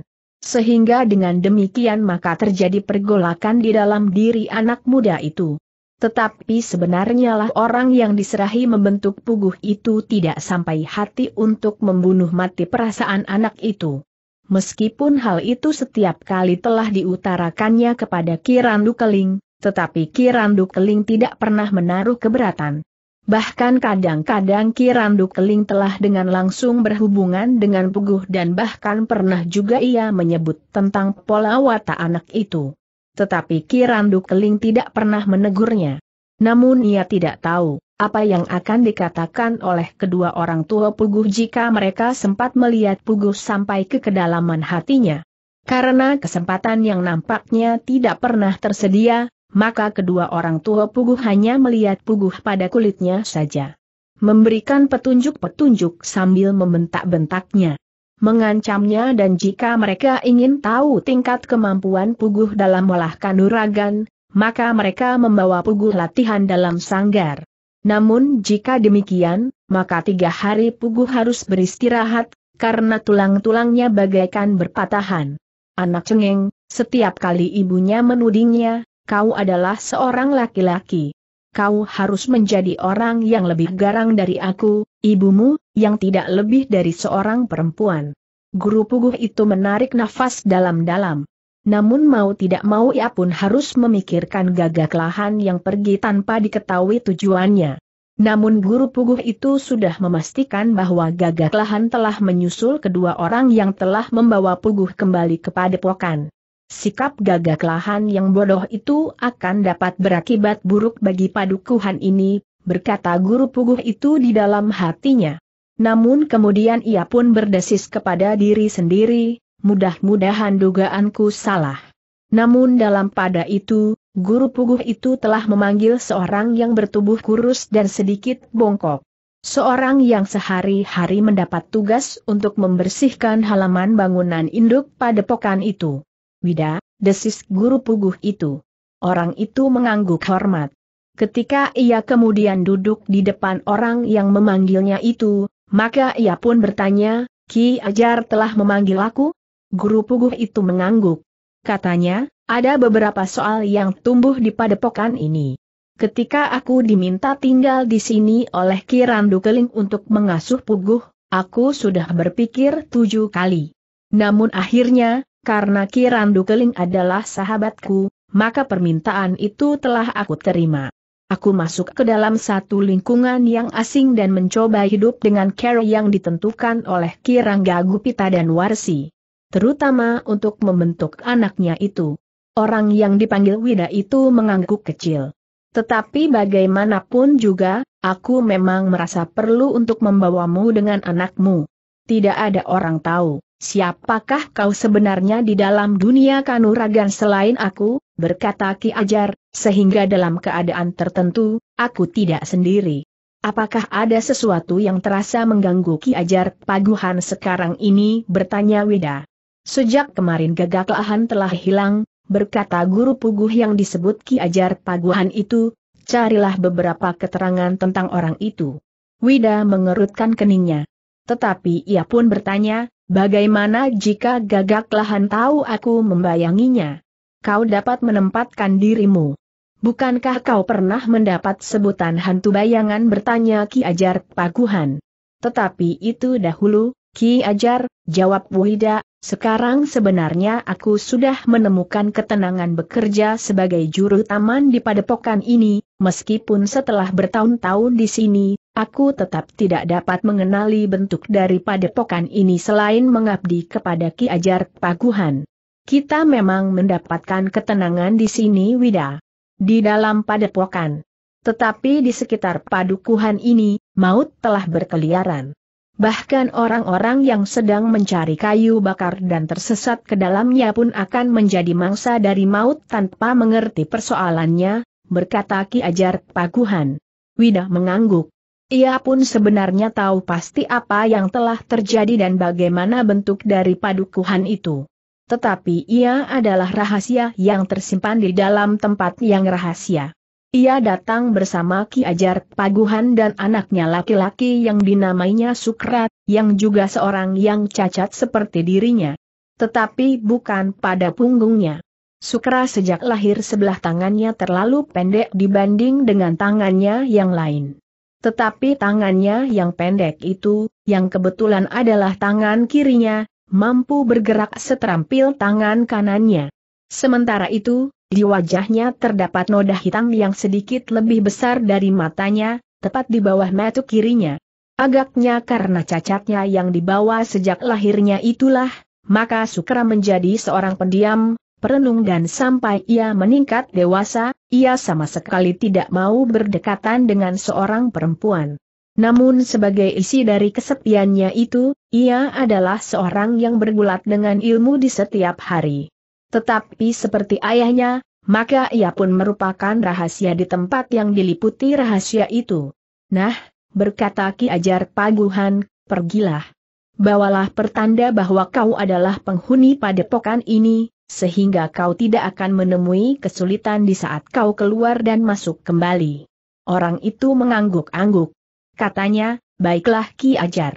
Tetapi untuk seterusnya aku akan tetap menjadi juru taman. Aku tidak akan melibatkan lagi hidupku dengan kekerasan yang kotor itu. Ki Ajar Paguhan menarik nafas dalam-dalam. Katanya, aku justru sedang menyempurnakan warna yang kau anggap kotor itu di sini. Di padepokan ini. Wida menarik nafas dalam-dalam. Katanya, memang satu perjalanan hidup yang aneh, bahwa Ki Ajar telah terdampar di sini. Apakah Ki Ajar tidak dapat membicarakannya lagi dengan Ki Randu Keling bahwa sebaiknya Ki Randu Keling mencari orang lain untuk membentuk Puguh menjadi orang berhati batu? Justru aku tidak sampai hati melihat anak muda itu berhati batu. Kau lihat, bahwa Puguh adalah seorang anak muda yang terhitung tampan, bermata bersih dan pikiran terang. Jika hatinya menjadi batu, maka ia adalah orang yang sangat berbahaya. Dan itu akan terjadi jika aku pergi dari padepokan ini, berkata Ki Ajar Paguhan. Wida mengangguk-angguk. Sementara itu, Ki Ajar berkata, nah, selagi belum jauh terlambat. Pergilah dan usahakan untuk mendapat keterangan tentang gagak lahan. Apakah kawan-kawan gagak lahan di padepokan pertama tidak berusaha mencarinya bertanya Wida. Wida, kau dengar. Aku minta kau mencari keterangan tentang gagak lahan, desis Ki Ajar Paguhan. Wida mengangguk kecil. Jawabnya, baik Ki Ajar. Aku akan berusaha. Tetapi sebagaimana setiap usaha, maka akan dapat terjadi beberapa kemungkinan. Aku sudah tahu Wida, sahut Ki Ajar. Wida mengerutkan keningnya, sementara Ki Ajar Paguhan berkata selanjutnya, satu usaha akan dapat berhasil, tetapi juga dapat tidak berhasil. Bukankah kau akan berkata begitu? Wida menarik nafas dalam-dalam. Kemudian katanya, benar Ki Ajar. Dan aku sekarang sudah bukan aku yang dahulu. Bukan lagi dapat disebut hantu bayangan atau sebutan-sebutan lain yang dapat menakuti anak-anak. Tetapi aku adalah seorang yang kurus dan bongkok lemah dan setiap hari bersenjatakan sapu lidi di halaman bangunan induk padepokan yang terasing ini. Ki Ajar Paguhan tersenyum. Katanya, jangan merajuk begitu. Bukankah menurut katamu, kau temukan ketenangan di sini? Wida pun kemudian meninggalkan Ki Ajar Paguhan seorang diri. Beberapa saat ia masih sempat merenungi muridnya yang tersentuh oleh wajah kehidupan yang lain dari pola kehidupannya yang dingin oleh orang tuanya. Sementara itu, Wida pun telah menemui anaknya. Juga seorang yang tugasnya membersihkan halaman seperti ayahnya. Kepada Sukra ayahnya mengatakan apa yang harus dilakukan di luar padepokan yang dirahasiakan itu. Aku akan minta pertanda agar aku tidak mengalami kesulitan di jalan keluar dan masuk nanti, berkata Wida. Kepada siapa bertanya Sukra? Landep, jawab Wida, Landep adalah salah seorang yang dipercaya oleh Kilurah Lembu Ireng. Orang itu tentu akan bertanya macam-macam. Ke mana ayah akan pergi? Untuk apa, sampai kapan dan segala macam pertanyaan yang bahkan kadang-kadang tidak masuk akal, berkata Sukra. Jadi bagaimana menurut pendapatmu bertanya Wida? Pergi sajalah. Ayah tentu akan dapat masuk dan keluar. Tempat yang sudah kita kenal dengan baik ini, berkata anaknya. Tetapi justru lingkungan di luar padepokan ini, berkata Wida sambil melangkah terbongkok-bongkok. Bukankah ayah pernah keluar masuk padepokan mengantar Ki Ajar jika ia bepergian desak anaknya? Tetapi Ki Ajar berpesan, agar aku membawa pertanda itu, jawab Wida. Namun kemudian katanya, nah, sampaikan kepada Ki Ajar, bahwa aku akan keluar atas perintah Ki Ajar untuk mencari daun, batang dan akar regu putih. Ki Ajar sedang membuat ramuan obat-obatan. Jika Landep meyakinkan kebenaran kata-kataku dan bertanya kepada Ki Ajar, jawabnya akan serupa. Sukra mengangguk-angguk. Jawabnya, baiklah ayah. Aku akan menyampaikan kepada Ki Ajar. Sekarang, sebelum Landep mendahuluimu, desak ayahnya. Sukra mengangguk-angguk sambil menjawab, tentu ayah. Aku tahu akibatnya jika kau terlambat. Mudah-mudahan Ki Ajar masih ada di tempatnya, namun kemudian pesannya, tetapi hendaknya ayah berhati-hati. Wida tersenyum pula. Ia pun kemudian menyahut, kenapa tidak kau lanjutkan kata-katamu? Ayah sekarang sudah tua, sudah semakin lemah dan tidak lagi bergairah untuk hidup. Tetapi Sukra menggeleng. Katanya, bukan maksudku ayah. Nah, sudahlah. Pergilah, potong ayahnya. Sukra pun kemudian pergi menghadap Ki Ajar yang masih saja duduk merenung di tempatnya, memberitahukan tentang kepergian ayahnya serta alasan yang dikemukakannya untuk mendapati pertanda. Landet memang tidak mempersulit permintaan Wida. Ia tahu benar bahwa Wida adalah seorang juru taman pelayan dekat Ki Ajar Paguhan. Karena itu, ketika ia mengatakan bahwa ia mendapat perintah dari Ki Ajar, maka Landep memang tidak bertanya lebih banyak lagi. Hari itu juga Wida meninggalkan padepokan yang penuh dengan rahasia itu. Beberapa kali ia memang bertemu dengan beberapa orang yang meronda dan mengawasi serta menjaga keterasingan dan kerahasiaan padepokan itu. Tetapi kebanyakan dari mereka telah mengenal Wida. Apalagi ia memang membawa pertanda untuk keluar dan pada saatnya memasuki padepokan itu lagi. Demikian Wida berada di luar padepokan, meskipun ia masih berada di padang yang sempit. Dipandanginya langit yang cerah, matahari yang menyala serta pepohonan yang hijau. Apalagi ketika kemudian ia sampai ke tanah persawahan. Ketika dilihatnya dua orang petani bekerja di sawah, maka rindunya pada kehidupan wajar semakin menyala di hatinya. Seandainya aku mempunyai sebidang tanah, Meskipun hanya beberapa kotak kecil, katanya kepada diri sendiri, aku akan menggarapnya dengan kesungguhan hati, mencintai tanah itu seperti mencintai anakku Sukra. Tetapi Wida sudah terlanjur terbenam dalam kehidupan yang tidak sewajarnya, sehingga sulit baginya untuk dapat keluar dari keadaannya. Dengan bahan-bahan yang sedikit tentang kedua orang yang mengantar Ruguh kembali ke padepokannya, maka Wida mulai menelusuri jalan untuk mencarinya. Yang mula-mula dituju adalah Gantar, karena ia tahu, untuk mencapai padepokan pertama, maka mereka tentu melalui Gantar. Dengan demikian pada saat mereka meninggalkan padepokan itu, maka mereka pun tentu akan melalui Gantar pula. Ternyata bahwa Wida masih mempunyai ketelitiannya yang pernah dimiliki. Dengan tanpa menimbulkan kecurigaan, ia bertanya tentang dua orang yang pernah melewati gantar itu. Dua orang adikku yang baru berkunjung ke rumahku. Ada barangnya yang ketinggalan, berkata Wida. Jika keduanya adikmu, kenapa kau tidak tahu ke mana mereka pergi bertanya seorang penjual dawet yang ditanya oleh Wida. Adikku adalah orang-orang aneh. Mereka mengembara dari satu tempat ke tempat lain. Atau katakan saja, mereka adalah pemalas yang tidak mau bekerja dengan wajar, jawab Wida. Penjual dawet itu memang tidak dapat menunjukkan. Tetapi berkat ketelitiannya, maka akhirnya Wida pun tahu ke mana arahnya kedua orang itu pergi. Menjelang matahari turun ke punggung pebukitan, maka Wida telah berada di bulak panjang yang pernah dilalui pula oleh Sambi Wulung dan Jati Wulung. Justru di bulak itu pula keduanya telah dicegat oleh gagak lahan bersama kawan-kawannya. Namun tiba-tiba saja Wida merasakan sesuatu yang tidak sewajarnya. Karena itu, maka dengan tiba-tiba saja Wida itu bagaikan lenyap dari jalan yang dilewatinya. Tidak seorang pun yang sempat melihat, bagaimana ia terguling dan hilang menyusup di antara pohon perdu di pinggir jalan itu. Seorang yang berjalan beberapa puluh langkah di belakangnya justru tidak terkejut. Tidak pula merasa kehilangan, karena orang itu memang tidak sedang mengikuti Wida. Ia berjalan saja menurut arah yang dikehendakinya. Ada atau tidak ada seorang Wida berjalan di jalan itu. Ia memang melihat seseorang berjalan agak jauh di depannya.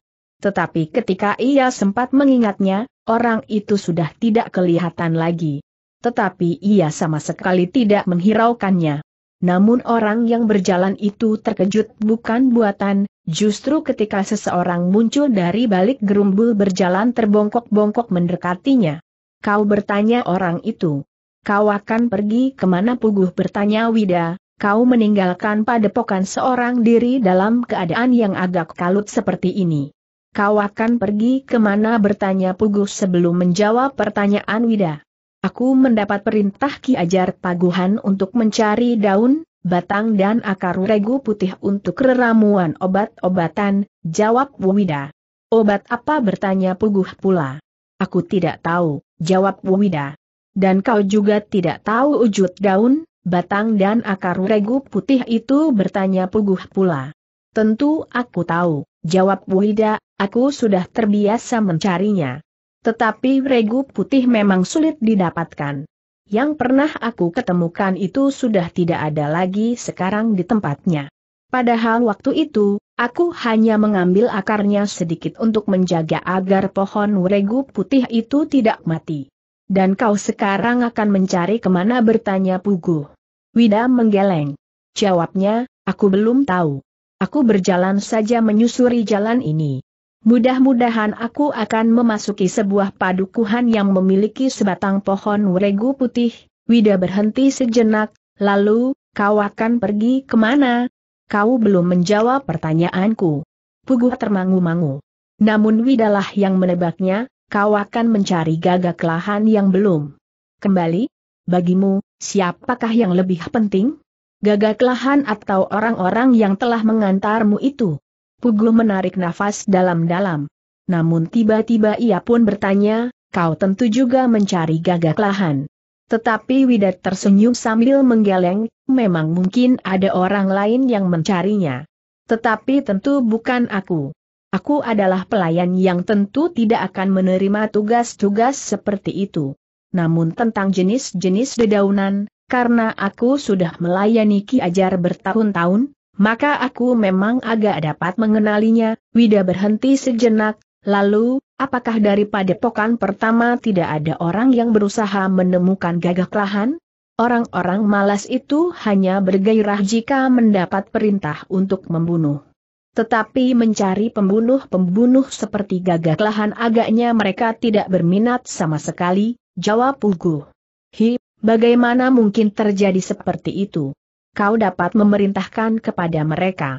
Siapa yang malas, segan atau tidak berminat dapat kau penggal kepalanya di hadapan kawan-kawannya, agar tidak seorang pun yang berlaku demikian, berkata Wida. Puguh tidak menjawab. Tetapi kepalanya justru tertunduk lesu. Kau tidak sependapat bertanya Wida. Cukup, tiba-tiba saja Puguh membentak. Wida menarik nafas dalam-dalam. Dengan nada rendah ia berkata, baiklah. Aku tidak akan menyebutnya lagi. Namun ia pun kemudian bertanya, dan sekarang kau akan pergi ke mana? Puguh termangu-mangu sejenak. Namun kemudian ia pun berkata, aku memang ingin mencari berita tentang gagak lahan. Dari mana kau berangkat bertanya Wida? Aku mendapat keterangan dari beberapa orang Gantar dan menurut perhitunganku berdasarkan dari mana kami datang ke Gantar, maka kedua orang itu agaknya telah menempuh jalan ini. Tetapi lalu ke mana desis Pugu? Wida mengerutkan keningnya. Tetapi ia bertanya, siapakah sebenarnya yang kau cari? Gagak lahan atau kedua orang yang mengantarkanmu pulang ke Padepokan? Kau tahu yang aku maksud? Jawab Puguh, tanpa penegasan, kau sudah cukup mengerti. Karena itu, tidak ada perlunya hal itu kau tanyakan. Apalagi berkali-kali. Wida menarik nafas dalam-dalam. Tetapi kemudian ia berkata, baiklah. katakan, bahwa aku sudah menduganya. Agaknya kau pun berpendapat bahwa gagak lahan telah memburu kedua orang yang mengantarkanmu untuk membunuhnya. Atau untuk mengantarkan nyawanya, sahut Pugu. Wida mengangguk-angguk. Dengan ragu-ragu ia bertanya, apakah kedua orang itu berilmu sangat tinggi, sehingga gagak lahan dan kawan-kawannya mungkin terbunuh oleh mereka? Padahal yang mengikuti gagak lahan tentu tidak hanya seorang. Puguh mengangguk. Katanya, yang pergi dan belum kembali bersama gagak lahan ternyata adalah enam orang. Nah, jika demikian maka gagak lahan tentu akan membunuh mereka. Mungkin gagak lahan sekarang sedang mencari mereka atau mengikuti mereka sampai ke tempat tertentu, desis Wida. Puguh tidak menjawab. Tetapi tiba-tiba saja ia berkata, marilah. Kita em mencari mereka. Ke mana? Bertanya Wida, sementara Langi menjadi semakin buram.